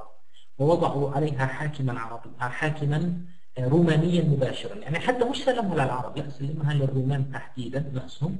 ونقش هذا الانتصار. طبعا تيطس بعد أن انتصر بعد وفاة أبيه أصبح هو الإمبراطور فصار اسمه الإمبراطور تيطس وبعد وفاته شيد له أخوه أخوه الإمبراطور تيطس هذا القوس.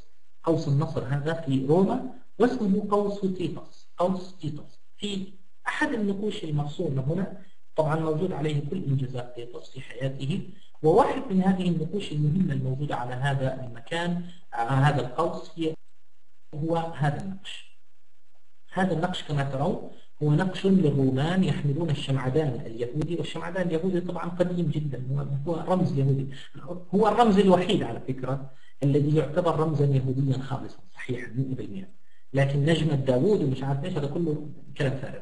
لكن الشمعدان نعم هو رمز يهودي. أخذ كما تلاحظون وهم يرتدون أكاليل الغار أكاليل النصر ويدخلون قوس النصر هذا اللي على اليمين في الصورة. على يمينكم يدخلون إلى روما. فهذه هذه كانت إشارة واضحة إلى انتصار الروم تأريخ انتصار الرومان على بني إسرائيل لإخراجهم من هذه أو وليس إخراجهم وإنما كسر شوكتهم هدأت الأوضاع في فلسطين حوالي 60 سنة ثم قامت ثورة أخرى واسمها ثورة باركوخبا ثورة باركوخبا وهذه المرة جاء الإمبراطور هدريان إيليانوس هدريانوس اسمه اللي هو هذا الذي يظهر عندكم في الصورة. جاء بنفسه جاء بنفسه من روما ليوقف هذه الثورة فأوقف الثورة ثم دمر القدس. كانت النتيجة عاقبة كبيرة جدا. دمر القدس وأعاد بناءها من, من الصفر وأسكن فيها العرب وحدهم ومنع اليهود من الاقتراب من مدينة القدس تماما هدريان فهذه الثورة ابتداء من سنة 135 للميلاد أخرج بنو إسرائيل تماما من فلسطين ولم يعودوا يدخلون مدينة القدس وبقي العرب وحدهم إيش الوثنيون. وكان ذلك حتى تقريبا 200 سنة أخرى لاحقة حتى جاء الإمبراطور قسطنطينوس وطبعا هدريان لما عاد بناء المدينة سماها غير اسمها سماها إيليا سماها إيليا إيليا كابيتولينا إيليا هو اسمه الأول اسمه إيليانوس. وهدري واسمه إيليانوس هدريانوس. وكابيتولينا قيل إنها بمعنى العاصمة وقيل ولعلها الأرجح أنها باسم كابيتول آلهة النصر. فبالتالي أخرج اليهود من المكان وبقي العرب الوثنيون في المدينة وهم الوحيدون الذين كانوا يسكنونها حتى حول الإمبراطور قسطنطينوس قسطنطين ديانته إلى الديانة المسيحية وفرض الديانة المسيحية على الإمبراطورية بالكامل فأدى ذلك إلى انشقاق الإمبراطورية الرومانية. نعم هدم المسجد الأقصى. وكانت النتيجة أن أخرج المسجد الأقصى تماما من مدينة القدس. في خريطة مادبة في خريطة مادبة المعروفة في الأردن؟ المسجد الأقصى المبارك ليس ضمن مدينة القدس. المسجد الأقصى المبارك ليس ضمن مدينة القدس. يعني موجود وين؟ موجود في هذه المنطقة. خارج حدود مدينة القدس. خارج حدود مدينة القدس. هنا. ففي هذه الصورة اللي هي خريطة خريطة الفسيفساء في مادبة لا يظهر فيها المسجد الأقصى لأنه كان خارج مدينة القدس وهذه صورة أخرى تبين لنا كيف كان المسجد الأقصى خارج حدود المدينة بالكامل. يعني المدينة كانت تنتهي هنا عند المنطقة الغربية بهذا الشكل وإلى الجنوب وهكذا. والمسجد الأقصى المبارك خارج حدود مدينة القدس. وكان ذلك في العهد الروماني وتحولت القدس في عهد قسطنطين إلى الديانة المسيحية وبنيت فيها أهم كنائس المسيحيين على الإطلاق كنيسة القيامة اللي داخل الدائرة. الآن آه، والمسجد الأقصى المبارك أصبح منطقة مهانة ليه؟ لأنه لم يعد فقط المشكلة بين اليهود وبين السكان الأصليين إنه والله هذول سموا في الزمانات وعنده كلها لا لا صارت مشكلة دينية. إنه هذول الناس هم الذين قتلوا المسيح. هيك هم بيعتبروا المسيحيون يرون أن اليهود هم الذين صلبوا المسيح وبالتالي بالنسبة لهم قضية خطيرة. يعني كيف هذول صلبوا المسيح ومش عارف إيش؟ فالمسجد الأقصى المبارك صار مهملا ومتروكا وعلى ذلك كان الأمر عندما جاء النبي صلى الله عليه وسلم. فالنبي صلى الله عليه وسلم عندما جاء إلى مدينة القدس كانت المدينة بهذا الشكل الذي نراها في هذه الصورة. المسجد الأقصى المبارك فارغ والسور الغربي للمسجد الأقصى اللي هو هذا اللي يظهر الذي يظهر الآن بالخط الأحمر. هذا طبعا هو السور الغربي لمدينة القدس لاحظوا هو هيك بينزل حتى الجنوب حتى آخر المدينة. هذا السور هو السور الشرق السور الغربي لمسجد الأقصى عفوا هو السور الغربي هو السور الشرقي لمدينة القدس. يعني وين المسجد الأقصى سور الغربي؟ هذا هو. هو جزء من السور الشرقي لمدينة القدس. هذا هو اللي ظهر عندكم الآن باللون الأزرق. هذا هو السور الغربي للمسجد الأقصى وهو نفسه كان جزءا من السور الشرقي لمدينة القدس وبالتالي كان يدخل إلى المسجد الأقصى من أبواب وفي شبابيك وغيره هذا على مفهوم الأقصى الكامل لكن ليس هناك أبنية إطلاقا واضح؟ فالمهم آه الآن النبي صلى الله عليه وسلم بعث للعالمين في سنة 12 للميلاد وبعد سنوات طويلة من عمله صلى الله عليه وسلم وهجرته الشريفة طبعا التفت النبي صلى الله عليه وسلم لأهمية فتح بيت المقدس وهناك يعني كلام طويل جدا حتى يوجد كتاب في هذا الموضوع اللي هو آه، كتاب بيت المقدس في استراتيجية النبي صلى الله عليه وسلم. فهذا الكتاب موجود فيه تفاصيل كاملة بديش أدخل فيها لأجل الوقت لأن الوقت إحنا عندنا مضغوط جدا. فبالتالي هذا الكتاب يوضح لك استراتيجية النبي صلى الله عليه وسلم وكيف كانت أهمية بيت المقدس له. المهم أن النبي صلى الله عليه وسلم خطط في حياته بعد أن يعني وهو يعرف قيمة بيت المقدس صلى إليها وكان إليها الإسراء والمعراج. وكان أول من دخلها صلى الله عليه وسلم من المسلمين جميعا لأنه رسول البشرية الأخير صلى الله عليه وسلم وأول المسلمين في أمتنا صلى الله عليه وسلم. وبالتالي دخل المسجد الأقصى المبارك ليلة الإسراء والمعراج. وصلى في المسجد الأقصى المبارك وصلى فيه وصلى إليه المسلمون أيضا قبلة اعتبروه القبلة الأولى حتى ومش اللي اعتبروه الله عز وجل أمره بذلك حتى نزل الأمر بتحويل القبلة إلى إلى مكة المكرمة إلى الكعبة تحديدا. وهكذا كانت الأمور قد يعني انتهت على أن تبقى إلى هذه الحالة في عهد النبي صلى الله عليه وسلم وخرج بنفسه إلى تبوك وهناك قال اعدد ستا بين يدي الساعة. موتي ثم فتح بيت المقدس. وبشر النبي صلى الله عليه وسلم بفتح بيت المقدس. أنا أعتذر أنا لن أستطيع أن أخذ أي استراحة. بقي لي أقل من ساعة أخي الله يكرمك إن شاء الله. يعني لأن الوقت مضغوط جدا جدا عندي ساعتين فقط التاريخ كله. سامحونا فالآن النبي صلى الله عليه وسلم بعد وفاته التفت المسلمون إلى أهمية ما كان يذكره صلى الله عليه وسلم عن عن المسجد عن المسجد الأقصى المبارك وفتح بيت المقدس. عفوا أخت سوزان أنت بتقولي للساعة 10 حسب توقيت مكة. لا أنا اللي بلغني إنه للساعة 9 يعني أنا معي ساعتين معي ساعتين فعليا. فأنا اللي بعرفه من الساعة 9 وليس للساعة 10 فأرجو المعذرة ثلاث ساعات؟ آه. لا إذا في توقيت يعني حيكون الساعة 10 والله أخوانا أنا اللي بفهمه إنه آه، أو أنا كنت أعرفه إنه المحاضرة للساعة آه، يعني للساعة 9 وضبطت الأمور كلها على هذا الأساس. يعني للساعة 9 بتوقيت مكة وليس بتوقيت دكتور عبد الله. يعطيك تفضل. يعطيك العافية دكتور. لا هو لا هو هو هو دكتورنا هو دكتورنا المفروض إنها ثلاث ساعات من ضمنها من ضمنها استراحة ومن ضمنها فقرة أسئلة. ممكن ممكن صار اللبس لأنك أعطيت محاضرة من قبل مدتها ساعتين لكن هذا دبلوم كل محاضرة مدتها ثلاث ساعات. آه لا أنا اللي اللي كأني كنت آه يعني أنا بحاول أقرأ الآن. الموضوع الموضوع لا وأنا راح افتح مجال الاسئله بالآخر سيشن أسئلة. لكن إنه لم أكن يعني أعرف إنه المحاضرة كلها بالكامل يعني إنه لا لازم أتكلم ثلاث ساعات.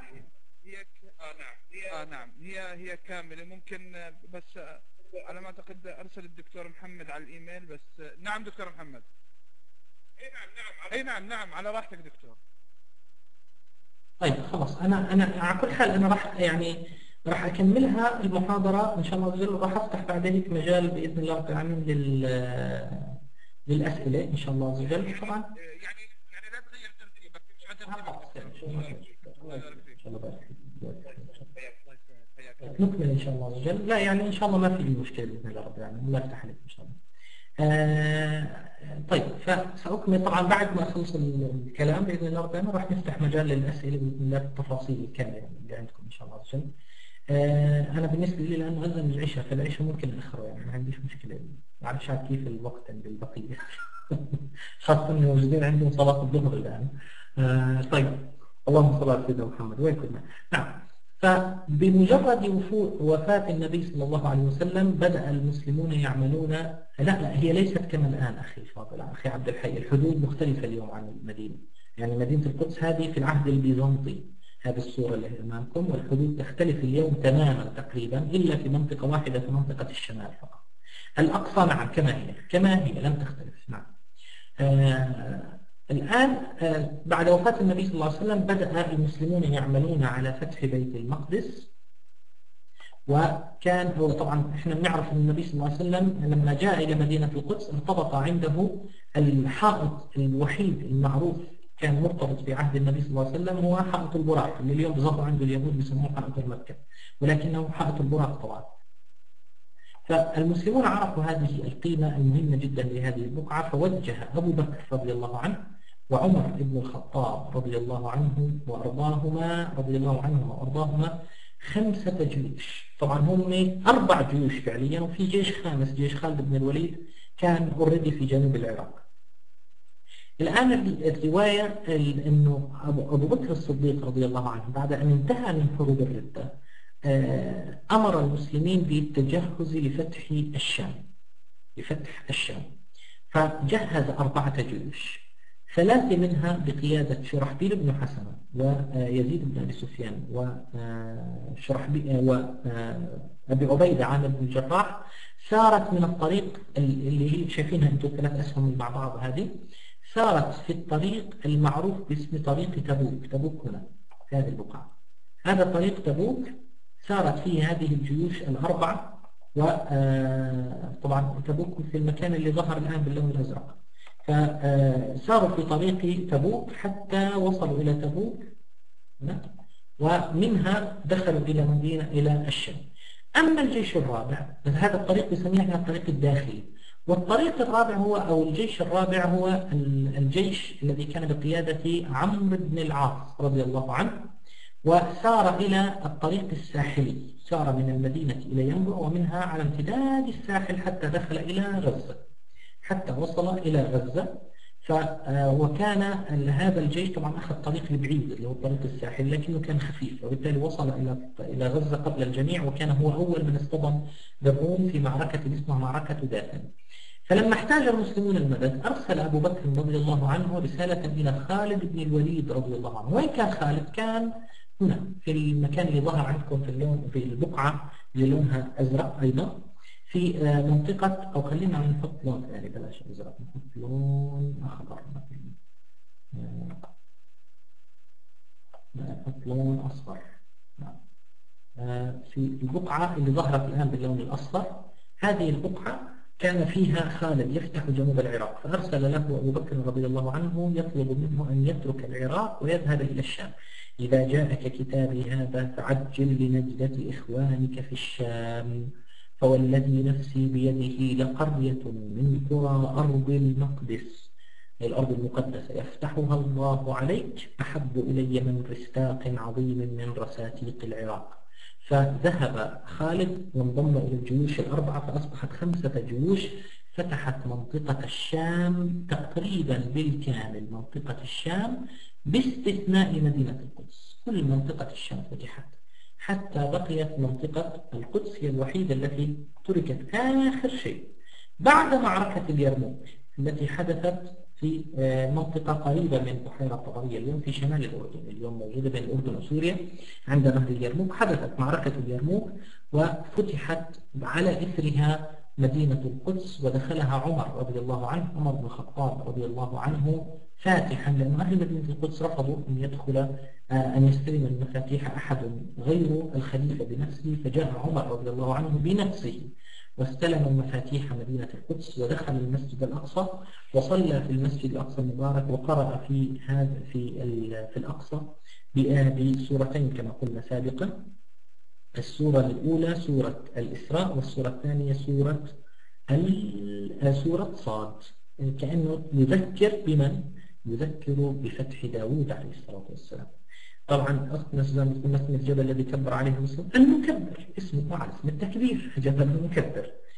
ف آه، بعد ذلك بدأ المسلمون يدخلون إلى مدينة القدس أرسالا ووحدانا فجاء كثير من الصحابة يدخلون ودخلوا مدينة القدس وصلوا فيها ورابطوا فيها وجلسوا فيها وعاشوا فيها وماتوا فيها.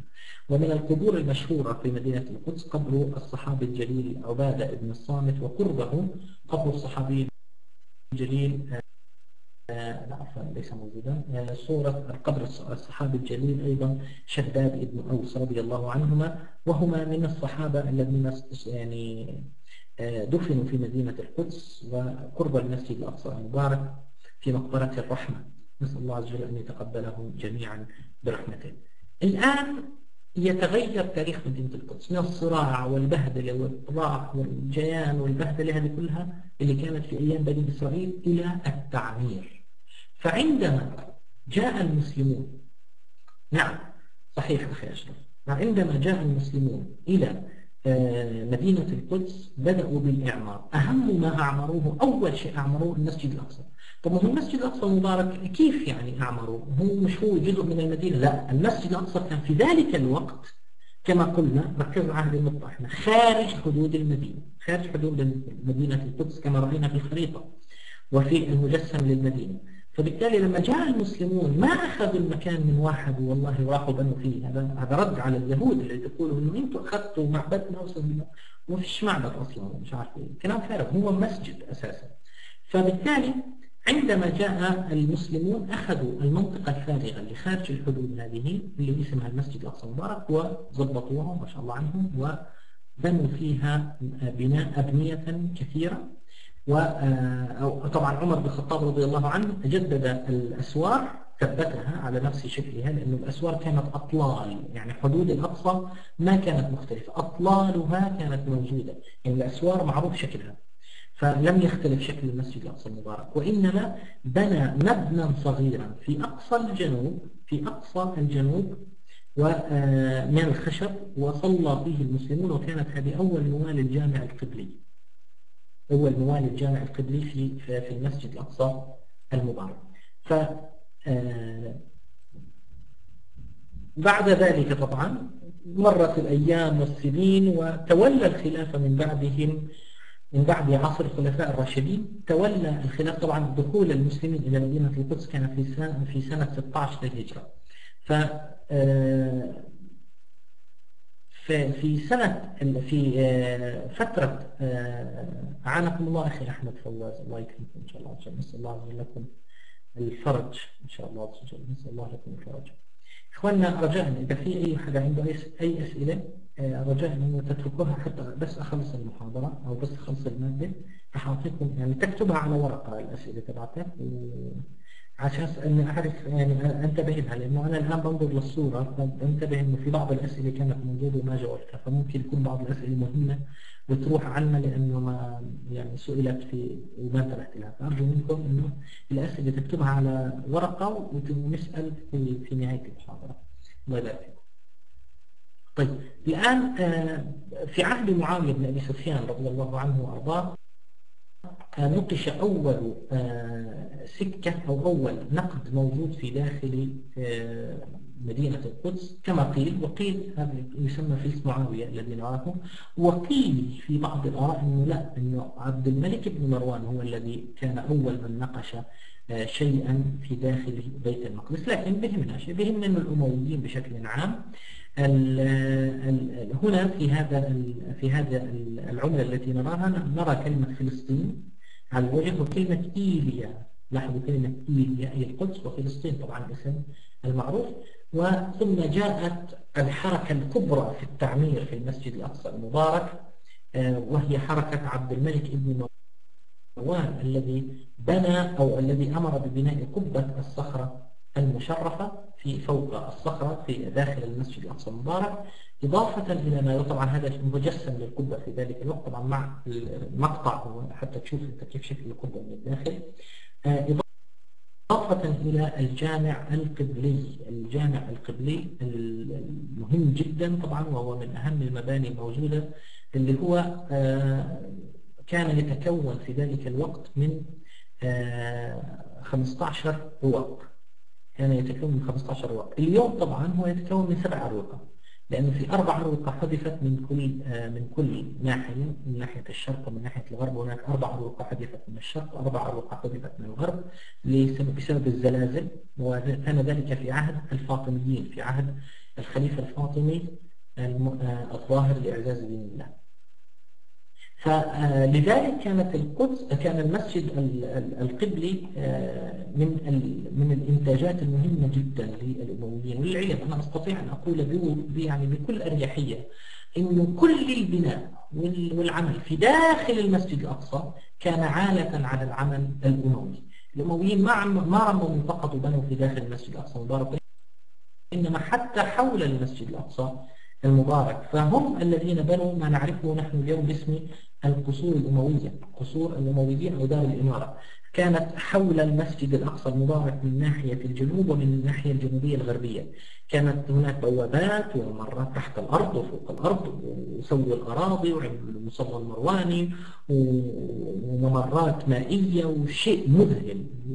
وما زلنا حتى اليوم حتى اليوم نعيش على العمل الذي قام به الأمويين. وكل عمل كان في القدس بعد ذلك هو عالة على الأمويين. كيف يعني عالة؟ يعني اعتمد على العمل الأموي على البناء الأموي فقط. فهذه النقطة يجب أن نفهمها جيدا لنرى يعني نعرف كم أهمية البناء الأموي في ذلك الوقت. فالآن بعد بعد هذه الفترة الطويلة طبعا هم حكموا حوالي 100 سنة تقريبا أو 130 يعني 100 سنة لا هم أقل 90 سنة تقريبا حكموا. بعد سقوط الدولة الأموية قامت الدولة العباسية والدولة العباسية كانت دولة اهتمت بالدرجة الأولى بالترميم فقط يعني لأنها كانت دولة تهتم بالثقافة والعلوم وغيره لكن ليس بالبناء والتعمير أكثر. الأمويون كانوا مهتمين بالبناء والتعمير أكثر. لذلك الآثار الأموية أكثر وأرسخ في الأرض من الآثار العباسية. لكن العباسيين لهم أثر مهم جدا في مدينة القدس وهو الاسم اسم القدس. اسم القدس كان قد ظهر في العهد العباسي. يعني هذه العملة من عهد الخليفة المأمون. يعني يظن أن كلمة اللي في عليها الدائرة الحمراء هي كلمة القدس. ضرب في بالقدس. فبالتالي آه، على الأرجح يعني يبدو أنه اسم القدس ظهر في ذلك الوقت. طب شو كانت القدس تسمى قبل ذلك؟ كانت تسمى بيت المقدس المدينة كانت تسمى بيت المقدس. وقبل ذلك كانت تسمى إيليا أيضا. وكان مع الزمن خلاص كانت بيت المقدس حلت محل كلمة إيليا ومع الزمن كلمة القدس اختصارا حلت محل كلمة بيت المقدس. فلذلك كان اسم القدس هو الذي يعني ثبت على مدينة القدس حتى اليوم حتى اليوم وإن شاء الله وصل حتى يوم القيامة بإذن الله رب العالمين. تتميز الفترة العباسية بفترة بالترميم. بالدرجة الأولى في المسجد الأقصى المبارك وبكثرة العلماء الذين كانوا يأتون ويروحون ويجيئون إلى المسجد الأقصى المبارك. وفي نفس الوقت بعد الضعف الأموي بعد الضعف العباسي بدأت يعني ال ال الدول المختلفة المستقلة تظهر على الأرض. فظهرت عدة دول مستقلة مثل دولة السلاجقة مثل الخلافة الفاطمية التي ظهرت على يد آه، الخليفة آه، عبيد الله المهدي كما سمى نفسه. آه، هي الدولة العبيدية لكن سماها الفاطمية بالنسبة للسيدة فاطمة الزهراء. وغير ذلك من هذه الدول التي بدأت تظهر هنا وهناك وتتنافس فيما بينها. أهم تنافس كان بين السلاجقة من جهة وهم أتراك كانوا يحكمون في هضبة الأناضول وحكموا منطقة الشام بالكامل والفاطميين وهم من الطائفة الإسماعيلية. طبعا لاحظوا أنه كان الإسماعيلية هم طائفة من طوائف الشيعة لكنهم مغالون تماما ومن الفرق الباطنية. فالإسماعيلية كانوا يحكمون مصر وكان عندهم خليفة وكانوا يعتبرون أن خليفتهم ينافس خليفة السنة في بغداد والسلاجقة كانوا يعتبرون أنفسهم يعني آه، مقدمة الخلافة السنية في وجه يعني الدولة التي تقف في وجه الخلافة أو التمدد الإسماعيلي الفاطمي في بلاد في بلاد المشرق. وبالتالي كان ميدان الصراع بين الطرفين بين الطرف السني ممثلا بالدولة السلجوقية والطرف الإسماعيلي الشيعي ممثلا بالدولة الفاطمية كان ميدانه فلسطين. كان ميدانه فلسطين. في ذلك الوقت ظهرت حركة في أوروبا عرفت في التاريخ باسم الحركة الصليبية. وكان ذلك آه، بمبادرة من البابا أوربان الثاني الذي آه، الذي قام بإعلان من روما.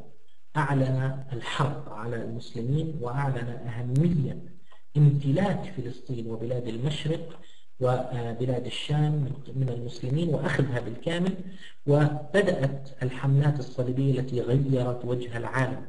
منذ ذلك الوقت حتى اليوم البابا أورتان الثاني هو الذي أعلن الحروب الصليبية على المسلمين وانطلقت أول حملة منظمة. طبعا كان في حملة حملة رعاع كانوا يسموها حملة من القطاع الطرق واللصوص وغيرهم. هذول انتهوا يعني راحوا في الطريق. لكنه أسست بعد ذلك حملة رسمية آه، من الجيوش الحقيقية آه، من ملوك أوروبا المختلفين. تجمعوا نسوا خلافاتهم بما أنه في عندهم عدو واحد هو المسلمون وتجمعوا وساروا بجيش كبير جدا عبر أوروبا ومروا من عند القسطنطينية. بأمر برعاية وموافقة من الإمبراطور آه، الإمبراطور البيزنطي وعبروا إلى بلاد الأناضول إلى حضرة الأناضول والتقوا بالسلاجقة. في ذلك الوقت استغل الفاطميون هذه الحادثة وضربوا السلاجقة من الخلف. بدل ما يروحوا يوقفوا معهم ضد الفاطميين ضد الصليبيين شو عملوا؟ قالوا آه فرصة بنروح الآن بناخذ القدس. وراحوا أخذوا القدس بكل بساطة يعني بكل أريحية هيك ففشل السلاجقة في إيقاف المد الصليبي فتمدد الصليبيون بشدة تمددوا بكثرة من منطقة أوروبا عبر الأناضول إلى بلاد الشام إلى بلاد الشام ووصلوا إلى بلاد الشام إلى ساحل الشام وتمكنوا من إقامة مجموعة من الإمارات الصليبية كان منها إمارة أنطاكيا. خليني بس أغير اللون نعم كان منها إمارة أنطاكيا وإمارة معلش بدي أطلع خارج الخريطة. إمارة الرها وإمارة طرابلس وأخيرا مملكة بيت المقدس التي كانت أخيرا مملكة بيت المقدس التي كانت تشمل الكرك وفلسطين بالكامل. تقريبا إلا عسقلان وغزة كانت يعني ضمن صراعات شديدة بين المسلمين وغيرهم وهؤلاء نعم حكم الفاطميون فلسطين. طبعا لما سقط لما سقطت أنطاكيا والرها وهذه المناطق كلها من يد السلاجقة ظن الفاطميون أن أمورهم تمام لكنهم فوجئوا بأن الصليبيين وصلوا إلى فلسطين وصلوا إلى فلسطين وأخذوا الرملة وسقطت بيدهم المدن واحدة تلو الأخرى وفي النهاية حاصروا مدينة القدس وأسقطوها ولم يكن فيها إلا حامية فاطمية صغيرة بقيادة رجل اسمه افتخار الدولة. هذه الحامية لم تستطع أن تحفظ مدينة القدس فسقطت القدس بيد الصليبيين. وضاعت المنطقة بالكامل وارتكب الصليبيون فيها مجزرة ذكرها التاريخ يعني بأحرف من دم. كيف قتل الناس وذبحوا وسحلوا في الشوارع أسبوع كامل وهم يقتلون في الشوارع الناس في شوارع مدينة القدس. لم لم يسلم من ذلك طفل ولا شيخ ولا امرأة ولا مسلم ولا مسيحي ولا يهودي. حتى اليهود أحرق كنيسهم وهم أحياء في داخله. يعني كان هناك سبعين يهود يعيشون في القدس أحرق عليهم الكنيس الذي كان لهم كنيس واحد أحرقوهم أحياء بكنيسهم في كنيسهم. وأما المسلمون فقد ذبحوا وقتلوا بعشرات الآلاف على مدى أسبوع كامل ذبحا وحرقا وتدميرا وتخريبا. شيء مذهل الذي حدث. و آه، وأسست هذه الإمارات الثلاثة ومملكة بيت المقدس وأصبحت يعني خنجرا في خاصرة هذه الأمة إلا أن إلا أنه كان لابد أن يظهر مشاريع مهمة جدا يعني تنصر هذه الأمة وتنهي هذه القضية. وكان هذا المشروع الذي بدأه آه، أقصن قر الذي سلم هذا المشروع إلى ابنه آه، زنكي. زنكي ابن أقصن قر هو تركماني هو أصلا تركماني يعيش في الموصل كان يحكم الموصل وانتقل من الموصل إلى حلب ومن حلب تمكن من آه، فتح حلب طبعا وضمها إلى ملكه وأسس هناك مملكة صغيرة بدأ ينتقل منها إلى الجنوب وإلى الشمال قضى على الصليبيين في الرها حتى يقنع الناس الشعوب إنه أنا غايتي هي تحرير بيت المقدس. مش بدي أخذ أراضيكم عشان أتسلى فيها لا بدي أحرر بيت المقدس. فهذه الناس طبعا فهمت هذه القضية ولذلك وجد يعني أثرا كبيرا جدا مهم جدا له على المسلمين. زنكي اللي هو صار لقبه عماد الدين. زنكي ابن أقصم عماد الدين معروف في التاريخ عندنا عماد الدين. فعماد الدين زنكي طبعا اسمه الحقيقي زنكي لكن هو لقبه كان عماد الدين. فعماد الدين زنكي آه، بدأ يعمل على تحرير البلاد آه، منطقة الرها ثم بعد ما حررها من الصليبيين التفت لمن؟ التفت للأمراء والحكام اللي موجودين في الممالك المختلفة حوله في الشام ووضع استراتيجية تقوم على ثلاث خطوات. الخطوة الأولى توحيد الشام الخطوة الثانية توحيد الشام مع مصر والخطوة الثالثة الإطباق على الصليبيين. هذه الخطوات اللي تبدو كأنها بسيطة يعني ثلاث طيب عادي نوحد الشام نوحد الشام مصر ونوحد بعدين نطبق عليهم. هذه أخذت 80 سنة عمل يا إخواننا 80 سنة. عشان تعرفوا أن الموضوع مش اختبار بسيط لا اختبار صعب. وليست المسألة سهلة. لا المسألة صعبة. وليست المسألة بسيطة وإنما ليست يعني وإنما مسألة يعني معقدة وتحتاج إلى عمل شديد جدا. فعمل زنكي على ذلك حتى قتل أثناء محاصرته قلعة جعبر اللي هي قريبة إلى الرقة ودفن في مدينة الرقة اليوم. دفن في مدينة الرقة آه، في سوريا اليوم. نسأل الله عز وجل أن يوحدها من أن يخرجها مما هي فيه من داعش جماعة داعش لا حول ولا قوة إلا بالله. الثالث الإطباق على الصليبيين إخواننا الثالث هو الإطباق على الصليبيين. توحيد الشام ثم توحيد الشام ومصر ثم الإطباق على الصليبيين. فالمهم نسأل الله أن يحررها من داعش ومن النظام المجرم الظالم. من الظالمين جميعا. المهم أنه بعد أن توفي أو قتل الملك عماد الدين زنكي ولقب بالملك الشهيد طبعا بذلك تولى الأمر من بعده ابنه محمود ومحمود كان لقبه نور الدين. كان لقبه نور الدين. نور الدين يختلف عن أبيه في إمكانياته وفي أساليبه فيعني عمل بأساليب مختلفة فترة طويلة جدا جدا جدا حتى تمكن من توحيد الشام عن طريق الزواج من ابنة أمير دمشق. ثم بعد ذلك بعد وفاة أمير دمشق تمكن من أن يدخل دمشق. بدعوة من أهلها. خلاص يعني كان يسيده أصلا. فدخل دمشق ووحد الشام. ثم بعد ذلك بدأ هو والصليبيون يتسابقون على مصر. فأرسل من عنده اثنين من أقوى قادته على الإطلاق. من وين؟ من مصر من الشام إلى مصر. مين هم مين؟ أسد الدين شيركو كردي وابن أخوه صلاح الدين يوسف ابن أيوب كردي أيضا.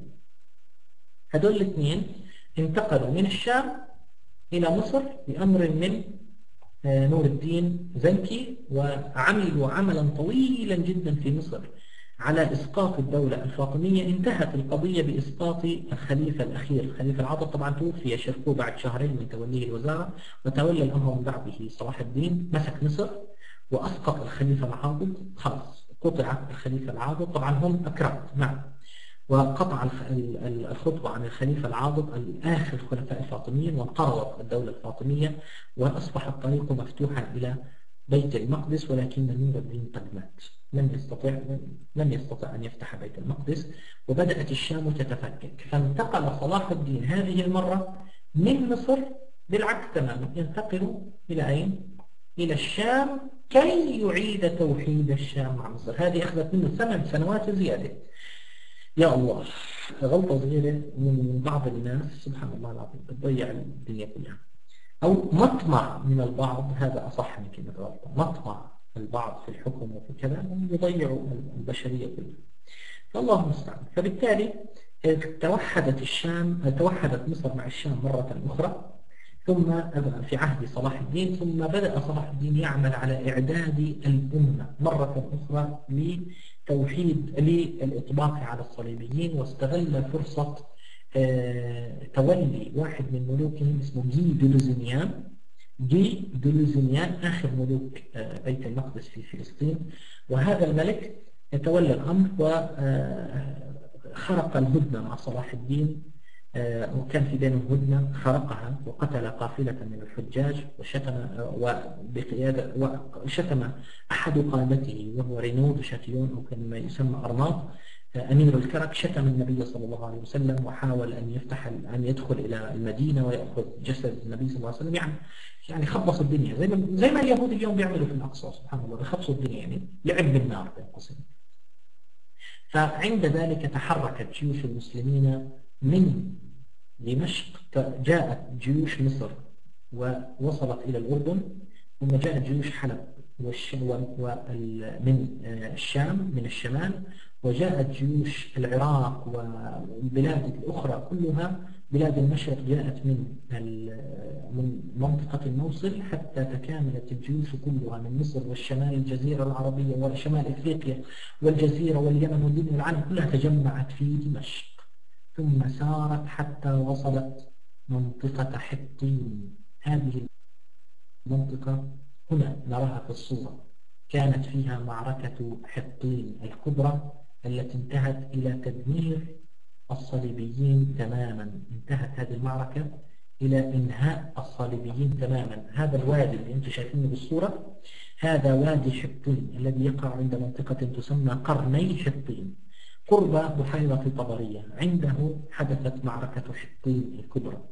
والمؤرخون يقولون معارك الإسلام يعني المعارك الفاصلة الكبرى يعني أثرها على آلاف السنين بعد ذلك إن شاء الله. يعني عاشت الدنيا آلاف السنين.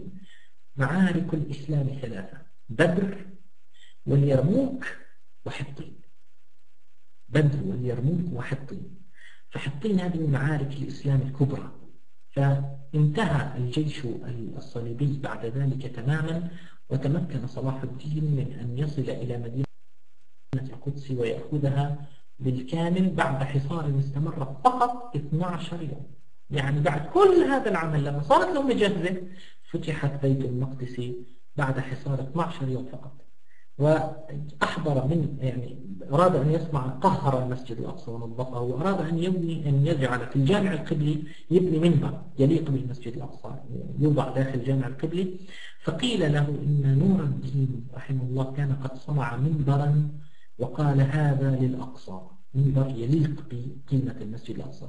فأمر بالمنبر وأحضر من حلب وأحضر من حلب ووضع في داخل الجامع القبلي هذا المنبر اللي أنتم شايفينه في الصورة.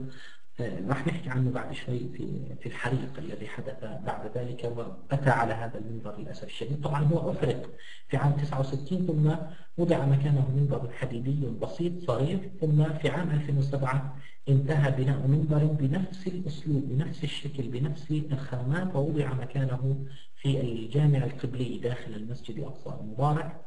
في عام 2007 صنع في الأردن.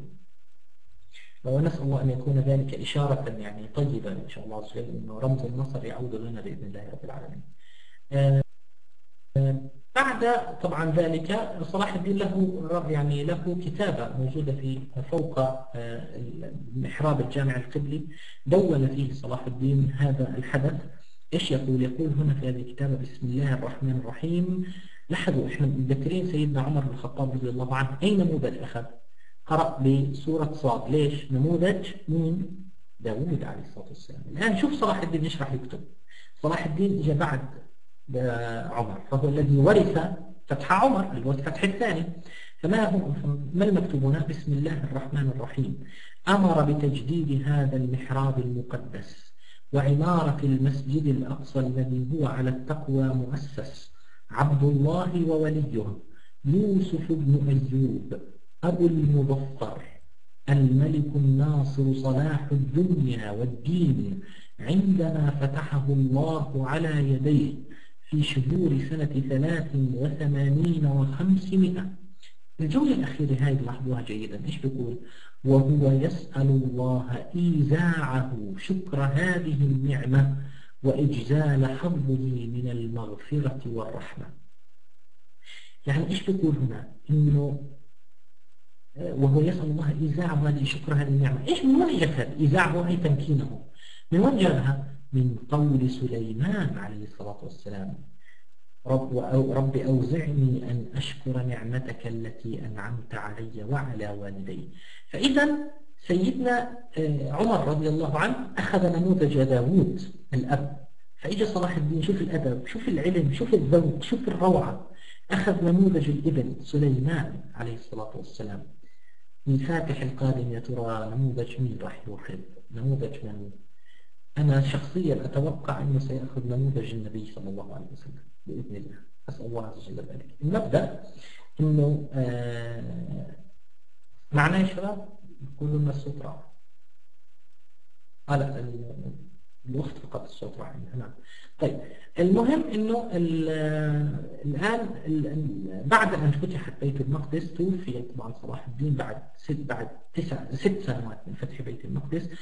طبعا أوروبا وحم يعني جردت حملة صليبيه خاصة لاسترداد بيت المقدس مرة أخرى فلم تتمكن وكان الأمر على أن صلاح الدين آه، حارب ريتشارد قلب الأسد ولم يتمكن أحد منهما من الآخر فكانت الحل النهائي إنه خلاص يعني يا عمي تعالوا نحلها بيننا ونعمل صلح بيننا وخلاص. فكان صلح الرملة.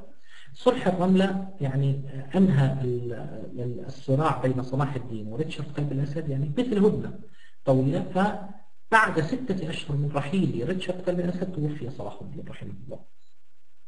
فتوفي رحمة الله عليه آه، في سنة 589 للهجرة ودفن في دمشق رحمة الله عليه. بعد وفاته أبناءه أو إخوته وأبناء عمه وأبناء إخوته اختلفوا. فتشققت البلاد مرة أخرى. فتشققت البلاد مرة أخرى. وبدأ الضعف يدب في البلاد مرة أخرى. مع أن الصليبيين موجودين. طبعا الصليبيين يحاولون أن يأخذوا هذه البقعة. حتى وصل الأمر ببعضهم إلى أن يستنجد بالصليبيين على أخيه وعلى ابن عمه يعني شيء كان مزعج. وكانت النتيجة من ذلك أن أحد الملوك اللي هو ابن أخو صلاح الدين اسمه آه، الملك الكامل محمد. الملك الكامل. محمد حكم مدينة كان حاكم مصر وكان أيضا يحكم مدينة القدس. سلم القدس إلى الإمبراطور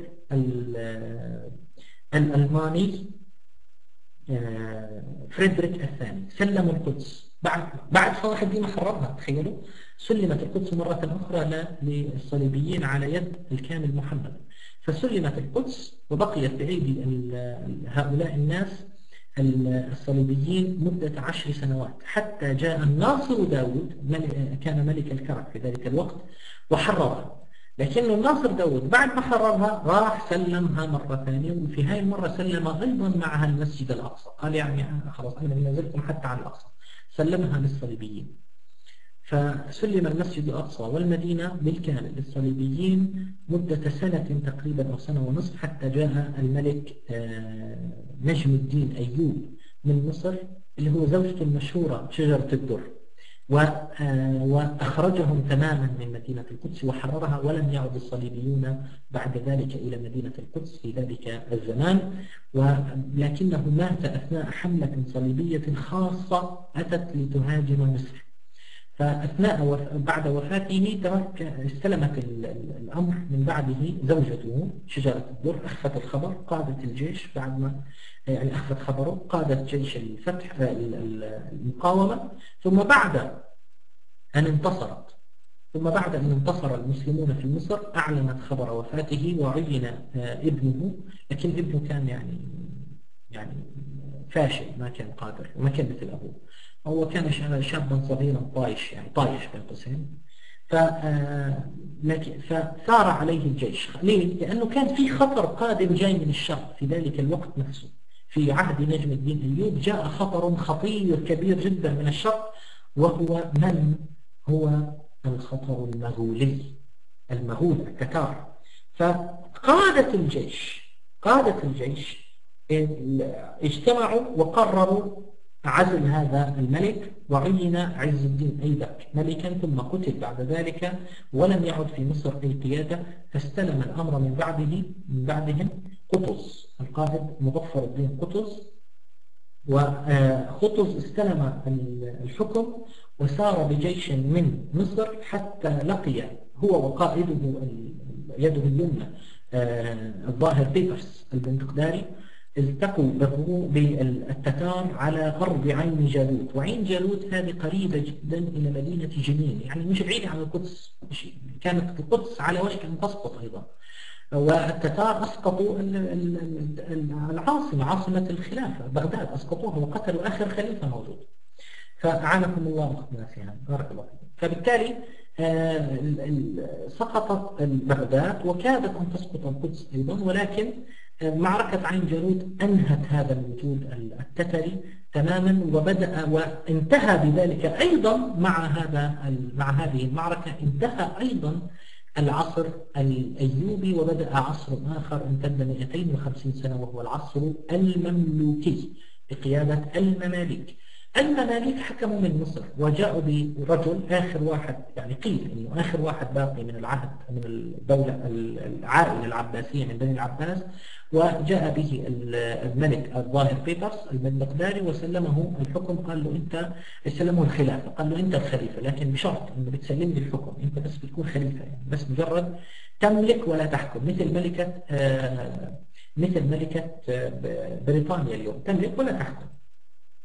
طبعا أخي الفاضل تيمور لنك عاد في زمن آخر مختلف لكنه المغول كانوا في ذلك الزمان قد انتهوا وأسلموا بعد ذلك ولم يعودوا على المغول نفس اللي كانوا في عهد هولاكو ومن قبله آه، آه، آه، شو اسمه؟ ما عم بالي اسمه سبحان الله العظيم.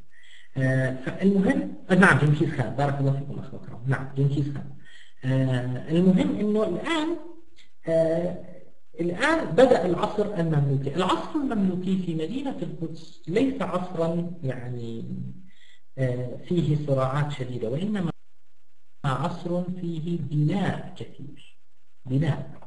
فالأبنية المملوكية الموجودة اليوم في القدس هي أكثر الأبنية المنتشرة في المدينة ومنها على سبيل المثال هذا السبيل الذي يظهر في الصورة وهو سبيل آه، قايتباي الملك قايتباي. آه، أحد ملوك المماليك الكبار يعني وخلفه أيضا باب القطانين اللي أيضا بناه ملك الملك محمد بن قلاوون الصالحي وأيضا هنا المدرسة الأشرفية هذا مجسم للمدرسة الأشرفية أو مصور للمدرسة الأشرفية لأن كل الجزء الأمامي فيها هدم والجزء العلوي منها للأسف هدم مع الزلازل. هذه المدرسة الأشرفية أيضا أمر ببنائها الملك الأشرف قايتباي وغيرها من الأبنية الكثيرة جدا. 250 سنة كانت الأمور هادئة جدا في مدينة القدس وهادئة جدا في فلسطين يحكمها المماليك بهدوء يعني بشيء بسيط جدا. لا الأشرفية نسبة إلى الأشرف قايتباي وليس الأشرف بيرسباي الأشرف قايتباي نفسه. وأغلب المدارس الموجودة اليوم في القدس أغلبها مدارس مملوكية. فالقدس اليوم قريبة جدا لل- للقدس المملوكية. القدس اللي بنعرفها اليوم هي القدس المملوكية على الأرجح. بقيت الأوضاع هكذا وفي المقابل في منطقة يعني ناخ- نأخذ هيك فلاش باك ونطلع على الأناضول. في الأناضول ظهرت في نفس الفترة دولة حديثة جديدة طلعت في وسط الأناضول. هي دولة العثمانيين نسبة إلى عثمان آه، مؤسس هذه الدولة آه، عثمان خان. وبدأت تتوسع تتوسع حتى كان أهم إنجاز لها وهو فتح القسطنطينية على يد محمد الثاني السلطان محمد الثاني اللي هو السلطان محمد الفاتح كما سمي بعد ذلك. وبالتالي اكتسبوا احترام شديد عند الناس. يعني الناس كانوا يقولوا العثمانيين هذول هم اللي فتحوا إسطنبول فتحوا القسطنطينية طب ليش هي مهمة فتح القسطنطينية؟ لأن رسول الله صلى الله عليه وسلم بشر بفتح القسطنطينية. ولذلك اعتبرت يعني إنه هذول يعني مش ناس عاديين في في فترة معينة في عهد تحديدا أحد الملوك الممالك آخر ملوك الممالك أو قبل الأخير الذي جاء بعد السلطان الأشرف قايتباي. الأشرف قايتباي كان آخر الملوك الأقوياء. من بعده جاء ال- ال- ال- ال- السلطان آه، المملوكي قنصون غوري. قنصون غوري بدأ يعني بال أو كان يعني قد قام بخطأ استراتيجي سياسي سيء جدا أنه تحالف مع الدولة الصفوية التي ظهرت فيما نعرفه اليوم باسم إيران ضد السلطان سليم يابو السليم السلطان العثماني.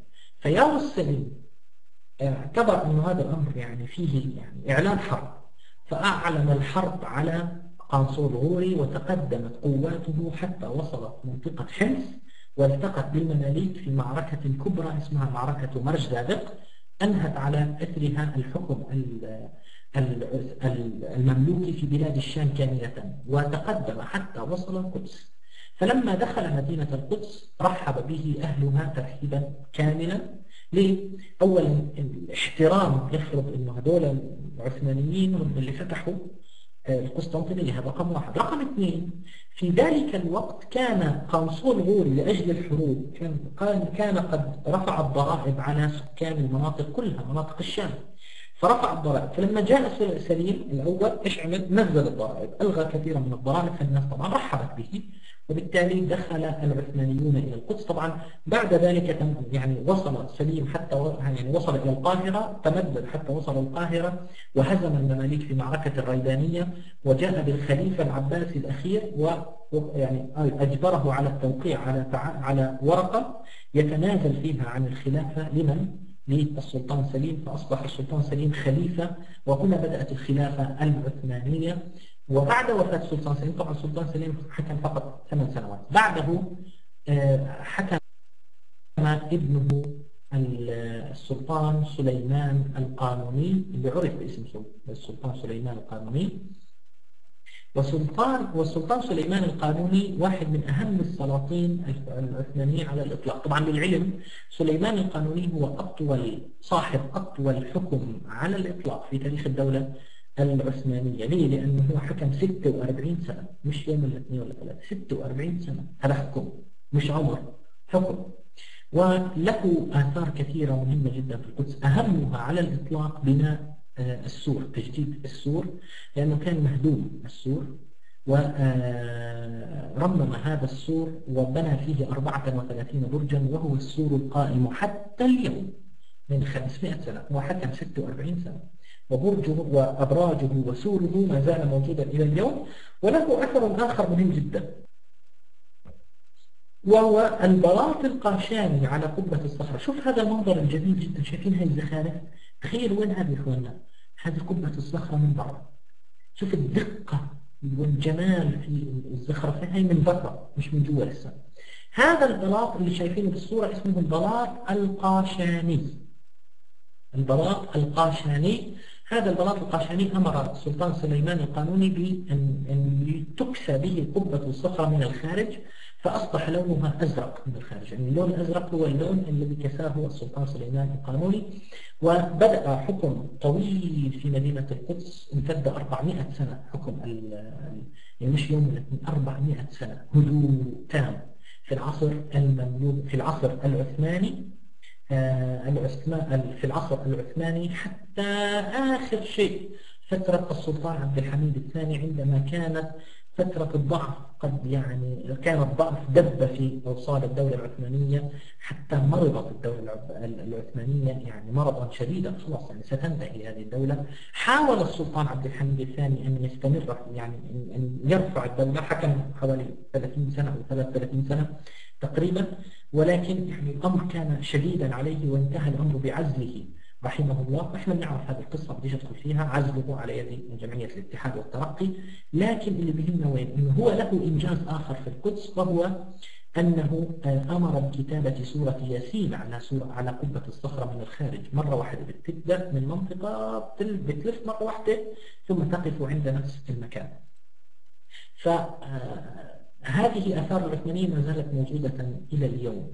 لكن بعد خلع السلطان عبد الحميد الثاني آه، تولى الأمر من بعده السلطان محمد الخامس أو محمد رشاد وهذا السلطان هو قبل الأخير. اللي بعده إجا محمد وحيد الدين وبعدين خلاص انتهت الدولة.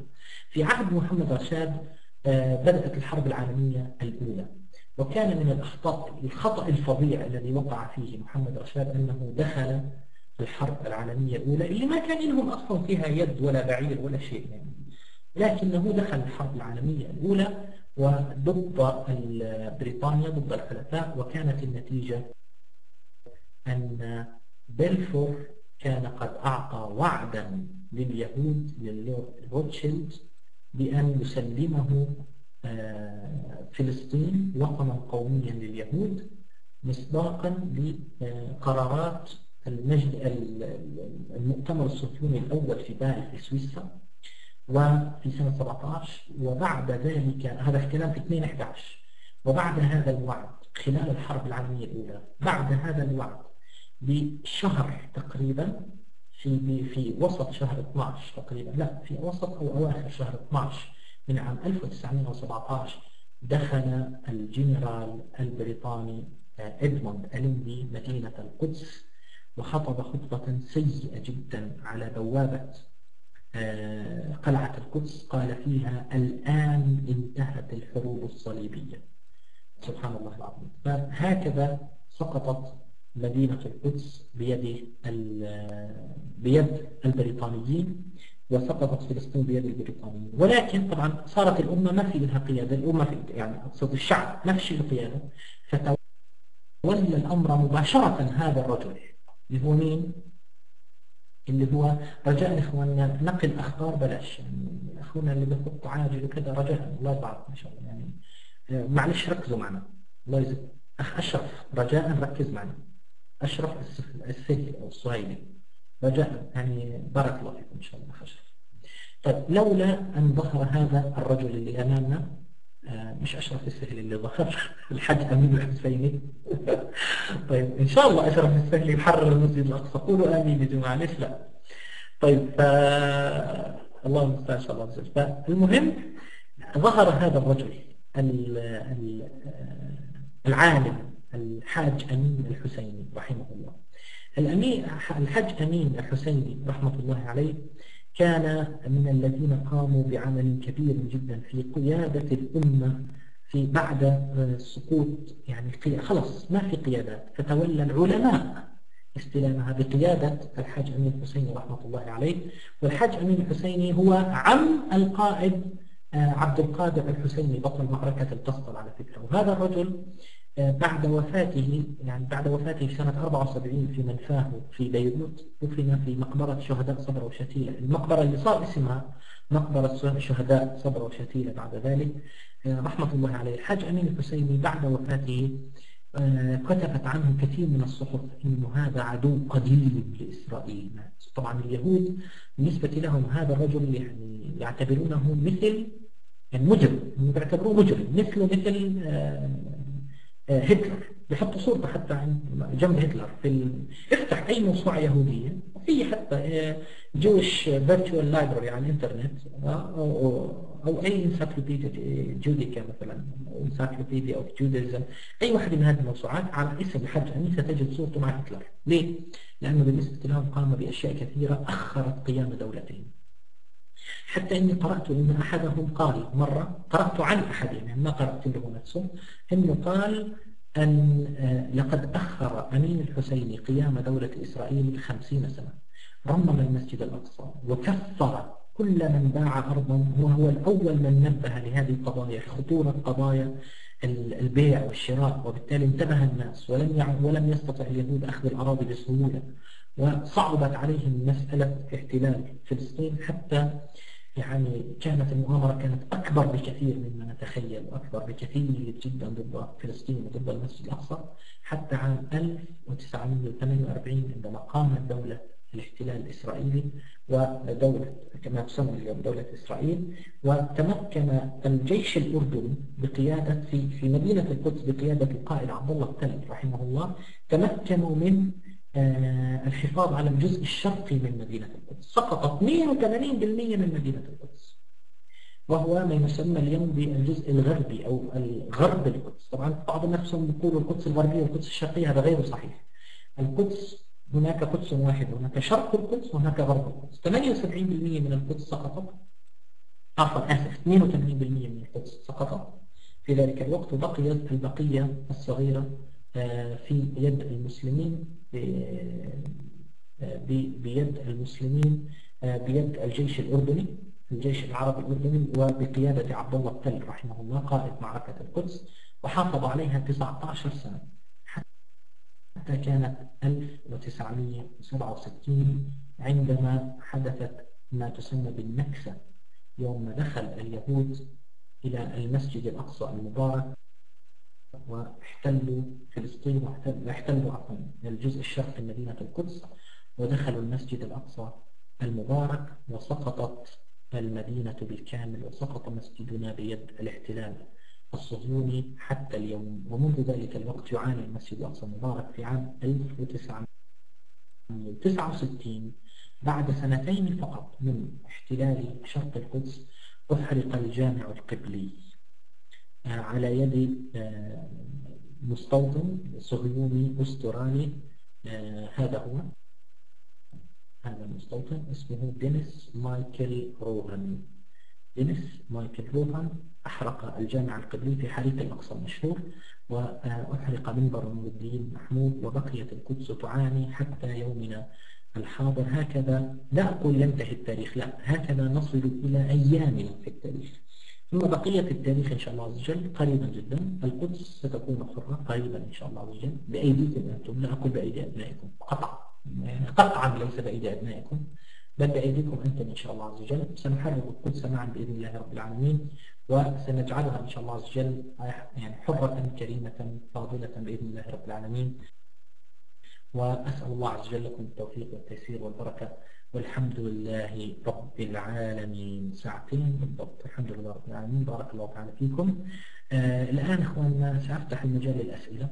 طبعا آه راح أفتح المجال للأسئلة. أنا أرجو أن تكون الأسئلة يعني بقدر الإمكان آه يعني مختصرة بحيث أن نفتح المجال لأكثر عدد ممكن من الناس أنه يسأل. فمن لديه سؤال فليتفضل. الله يكرمكم إن شاء الله. وجل آه، طب نهدى نهدى شوي أيوه عبد الحي أبو شاويش بيقول بنا الناس بني اخواننا طيب آه، لحظة إخواننا بس نقف نقف شوي عن كلمة بارك الله فيكم والله يعطيكم العافية. شكرا لكم جميعا. طيب. طيب بس عشان ما تروحش الأسئلة. آه، أخونا بيقول سأحاول أن أجيب عن جميع الأسئلة إن شاء الله. عز وجل يوشع بن نون ما هو دوره؟ لا المسجد الأقصى بعد كم سنة؟ بعد آه بعد آه، المسجد الأقصى بعد المسجد الحرام بأربعين سنة. بأربعين سنة. طيب إيش كمان؟ آه بس بدي أكبر تتكبرش ليش يعني لو تتكبر بس على الأقل إنه نعم. طيب مش قصدي يعني والله؟ نعم يوشع بن نون ما دوره في تحرير فلسطين في دخول فلسطين. هذه رواية موجودة عند الإمام أحمد بن حنبل آه، رضي الله عنه وأرضاه وهي تقول أنه آه، يوشع بن نون هو الذي قاد بني إسرائيل إلى داخل فلسطين وهذه الرواية موجودة أيضا في التوراة. آه، هل يمكن أن أسأل الآن عن العلوم؟ تفضل أخ عامر.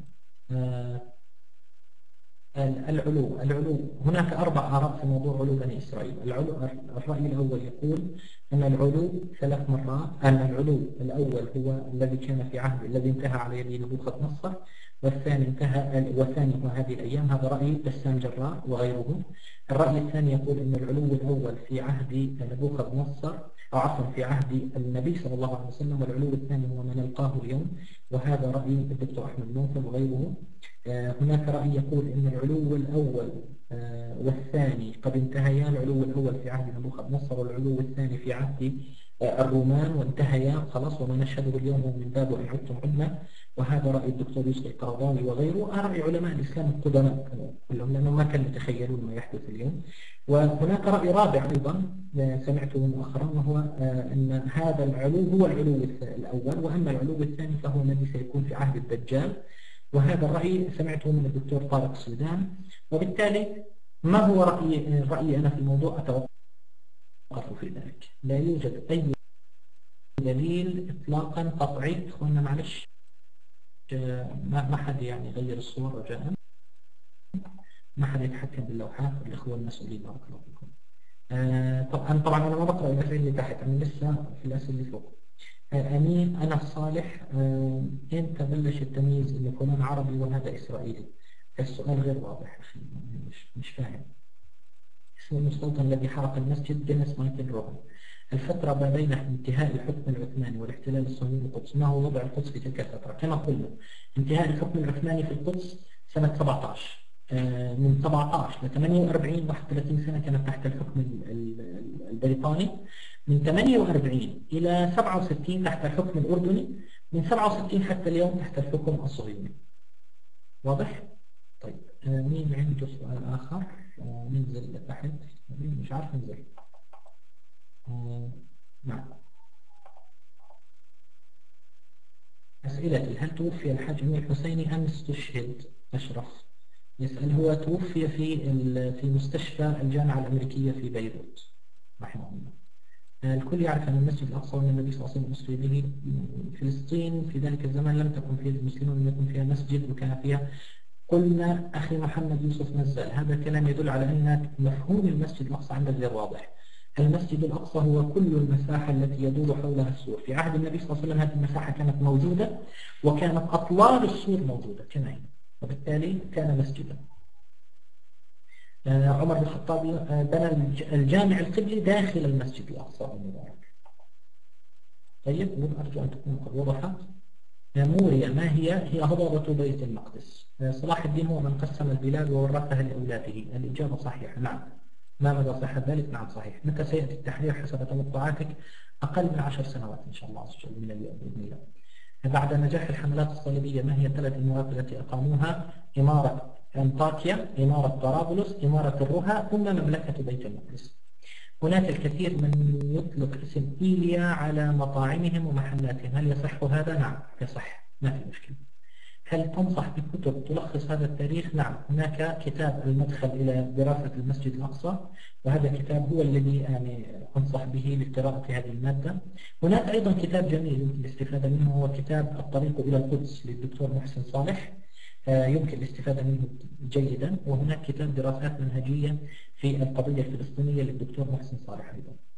آه، مين كمان عنده أيضا أسئلة أخرى؟ لأي زمن تعود حدود البلدة القديمة في القدس آه، هل تتشابه آه، مع الحدود القديمة كما في خريطة نادبة الزمن قديم جدا حدود البلدة القديمة في القدس. ولكن الحدود اللي إحنا بنعرفها اليوم هي قريبة جدا للعهد ال- الصليبي تقريبا يعني أو ال- الفاطمي. محمد يوسف نزال تكلمت عن الإسرائيليات ورفضك بأنها كلام تافه لكن النبي صلى الله عليه وسلم قال في مسند الإمام أحمد تحدثكم أهل الكتاب فلا تصدقوهم ولا تكذبوهم. طيب يا سيدي أنا لا أصدقهم انتهت القضية. فبالتالي يعني لا أخذ كلامهم كلام تافه كلام فارغ كلام غير مصدوق غير منطقي إطلاقا. خاصة لما يجوا يحكوا لي إنه آه، كان واحد يحمل آه، اثنين يحطهم على كتافه ومش عارف إيه وكلام. هذا كلام غير دقيق لسبب إنه عندنا قبور فتحت واكتشفت آه، جثث واكتشفت على ال- يعني هياكل عظمية من تلك الفترة. وناس عاديين طبيعيا طبيعيا زينا زينا بالتالي أنا لا أخذ كلام بني إسرائيل لا أخذ كلام ال- الإسرائيليات بالتأكيد. فمعنى حديث لا تصدقوهم ولا تكذبوهم لا أصدقهم ولا أكذبهم بالتالي لا أخذ كلامهم. وهنا يعجبني رأي موجود يعني أحد الأساتذة الكرام الدكتور أحمد موفر يقول يقول طبعا لا أخذ تطرف يعني في عنده بعض الشدة في الموضوع لا أخذ بها لكنه آه، في عنده نقطة مهمة جدا بيقولها إيش بيقول آه، إذا كان يوافق القرآن إذا كلام بني إسرائيل الإسرائيليات ليس بني إسرائيل الإسرائيليات توافق القرآن فأنا القرآن يمكن يغنيني عنهم. إذا تخالف القرآن فبالتالي أرفضها. إذا سكت عنها القرآن فأنا مش محتاجها. بكل بساطة. آه، ممكن توصيف سريع لحدود القدس. تو- أي قدس تقصد؟ البلدة القديمة ولا القدس الكبيرة ولا إيش بالضبط؟ يعني مش واضح. معلش.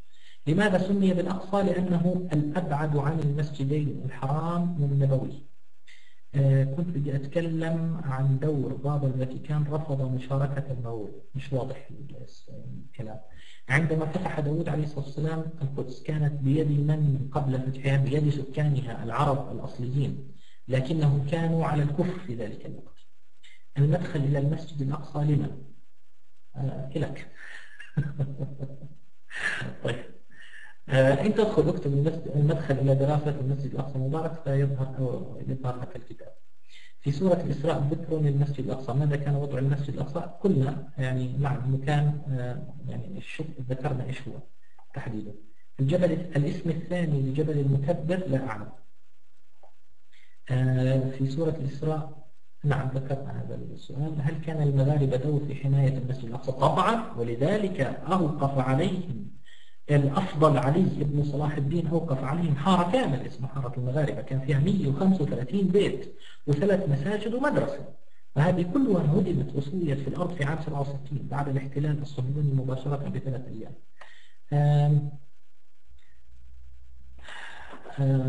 قد سمى ابن كثير على رأسي. ابن كثير أحترمه جدا وأنا لا أخذ أي شيء إطلاقا ولا أروي عن بني إسرائيل ولا أقبل كلامهم إطلاقا. لأنه ثبت عندي بالدليل القاطع أن كلام بني إسرائيل أن كلام الإسرائيليات كلام لا نحتاجه وبالعكس ينافي المنطق وينافي التاريخ وينافي حركة التاريخ. المشكلة عندنا أنه بعض العلماء يحاول أنه يضبط يعني يلزق النص القرآني على الإسرائيليات عشان تضبط معها وبالتالي يجوا صاروا يحكوا مثلا وإذ قال إبراهيم لأبيه آذر عند التوراة بتقول بني إسرائيل الإسرائيليات بتقول إنه اسمه إبراهيم بن كارح. فإيش صاروا يقولوا آه لا معناه هو آه لأبيه آذر مع مش أبوه آذر آذر كان عمه أما اسمه هو إبراهيم بن تارح لأنه الإسرائيليات تقول ابن تارح في ستين داهية الإسرائيليات لا يا عمي اسمه إبراهيم بن آذر. القرآن يقول أبوه اسمه آذر. كيف يجي يقول لي إنه لا لا هو مش أبوه هو عمه بس كان لأنه رباه ومش عارف إيه. ليش؟ كله عشان الإسرائيليات قالت إنه إبراهيم بن تارح برميها ورا ظهري. في, في داهية كلام بني إسرائيل. شو يعني؟ وبالتالي لا أقبل هذا الكلام لأنه يناقض القرآن تماما. أنا ما باجي أنا أطوع النص القرآني ويعني بلوي عنق النص بناء على الإسرائيليات. هذا هو ما أتكلم عنه. الله يكرمكم إن شاء الله. آه رسم توضيحي لحدود القدس الحالية والمسجد الأقصى بصورة سريعة. صعب, صعب شوي. ليس عندي الآن رسم توضيحي لهذه النقطة الذي تفضلت بها أخ أشرف. هل هل تعتقد أن المسجد الأقصى سيهدم؟ وهل هذا موجود في التاريخ؟ هذا أخي الش... لا شاهين شاهين. أكثر سؤال يستفزني. ليه؟ المسجد الأقصى مشكلته الرئيسية ليست الهدم. ليست الهدم مشكلة المسجد الأقصى هي الاحتلال وبس. وبالتالي هل تعتقد كذا؟ إذا قلت لك لا بعض الناس مش أنت يعني بعض الناس بيجي بيقول آه الحمد لله إذا الدنيا بخير. لا يا حبيبي الدنيا مش بخير. الأقصى ليس بخير الأقصى محتل وهذه في حد ذاتها كارثة. هل كان يوجد تمليك للأرض في القدس في عهد العثمانيين؟ نعم. لأنها كانت وقف إسلامي. لا القدس ليست كلها وقفا إسلاميا. القدس ليست بالكامل وقف إسلامي. هناك كثير من الأوقاف فيها وبالتالي لا نقول إنه والله هي كلها وقف إسلامي. واضح؟ آه عندي كمان مشكلة الأقصى الاحتلال والتهويل. طبعا ماذا تنصحنا نحن الشباب المسلم بنصرة المسجد الأقصى؟ آه لنصرة قضية فلسطين وتحرير المسجد الأقصى. من النصر وأنت تدري آه يا مصر آه عبد الرحمن عاطف. آه هذه الآخ بتبين لك إيش النصيحة. آه آه يا رب. مصر إخواننا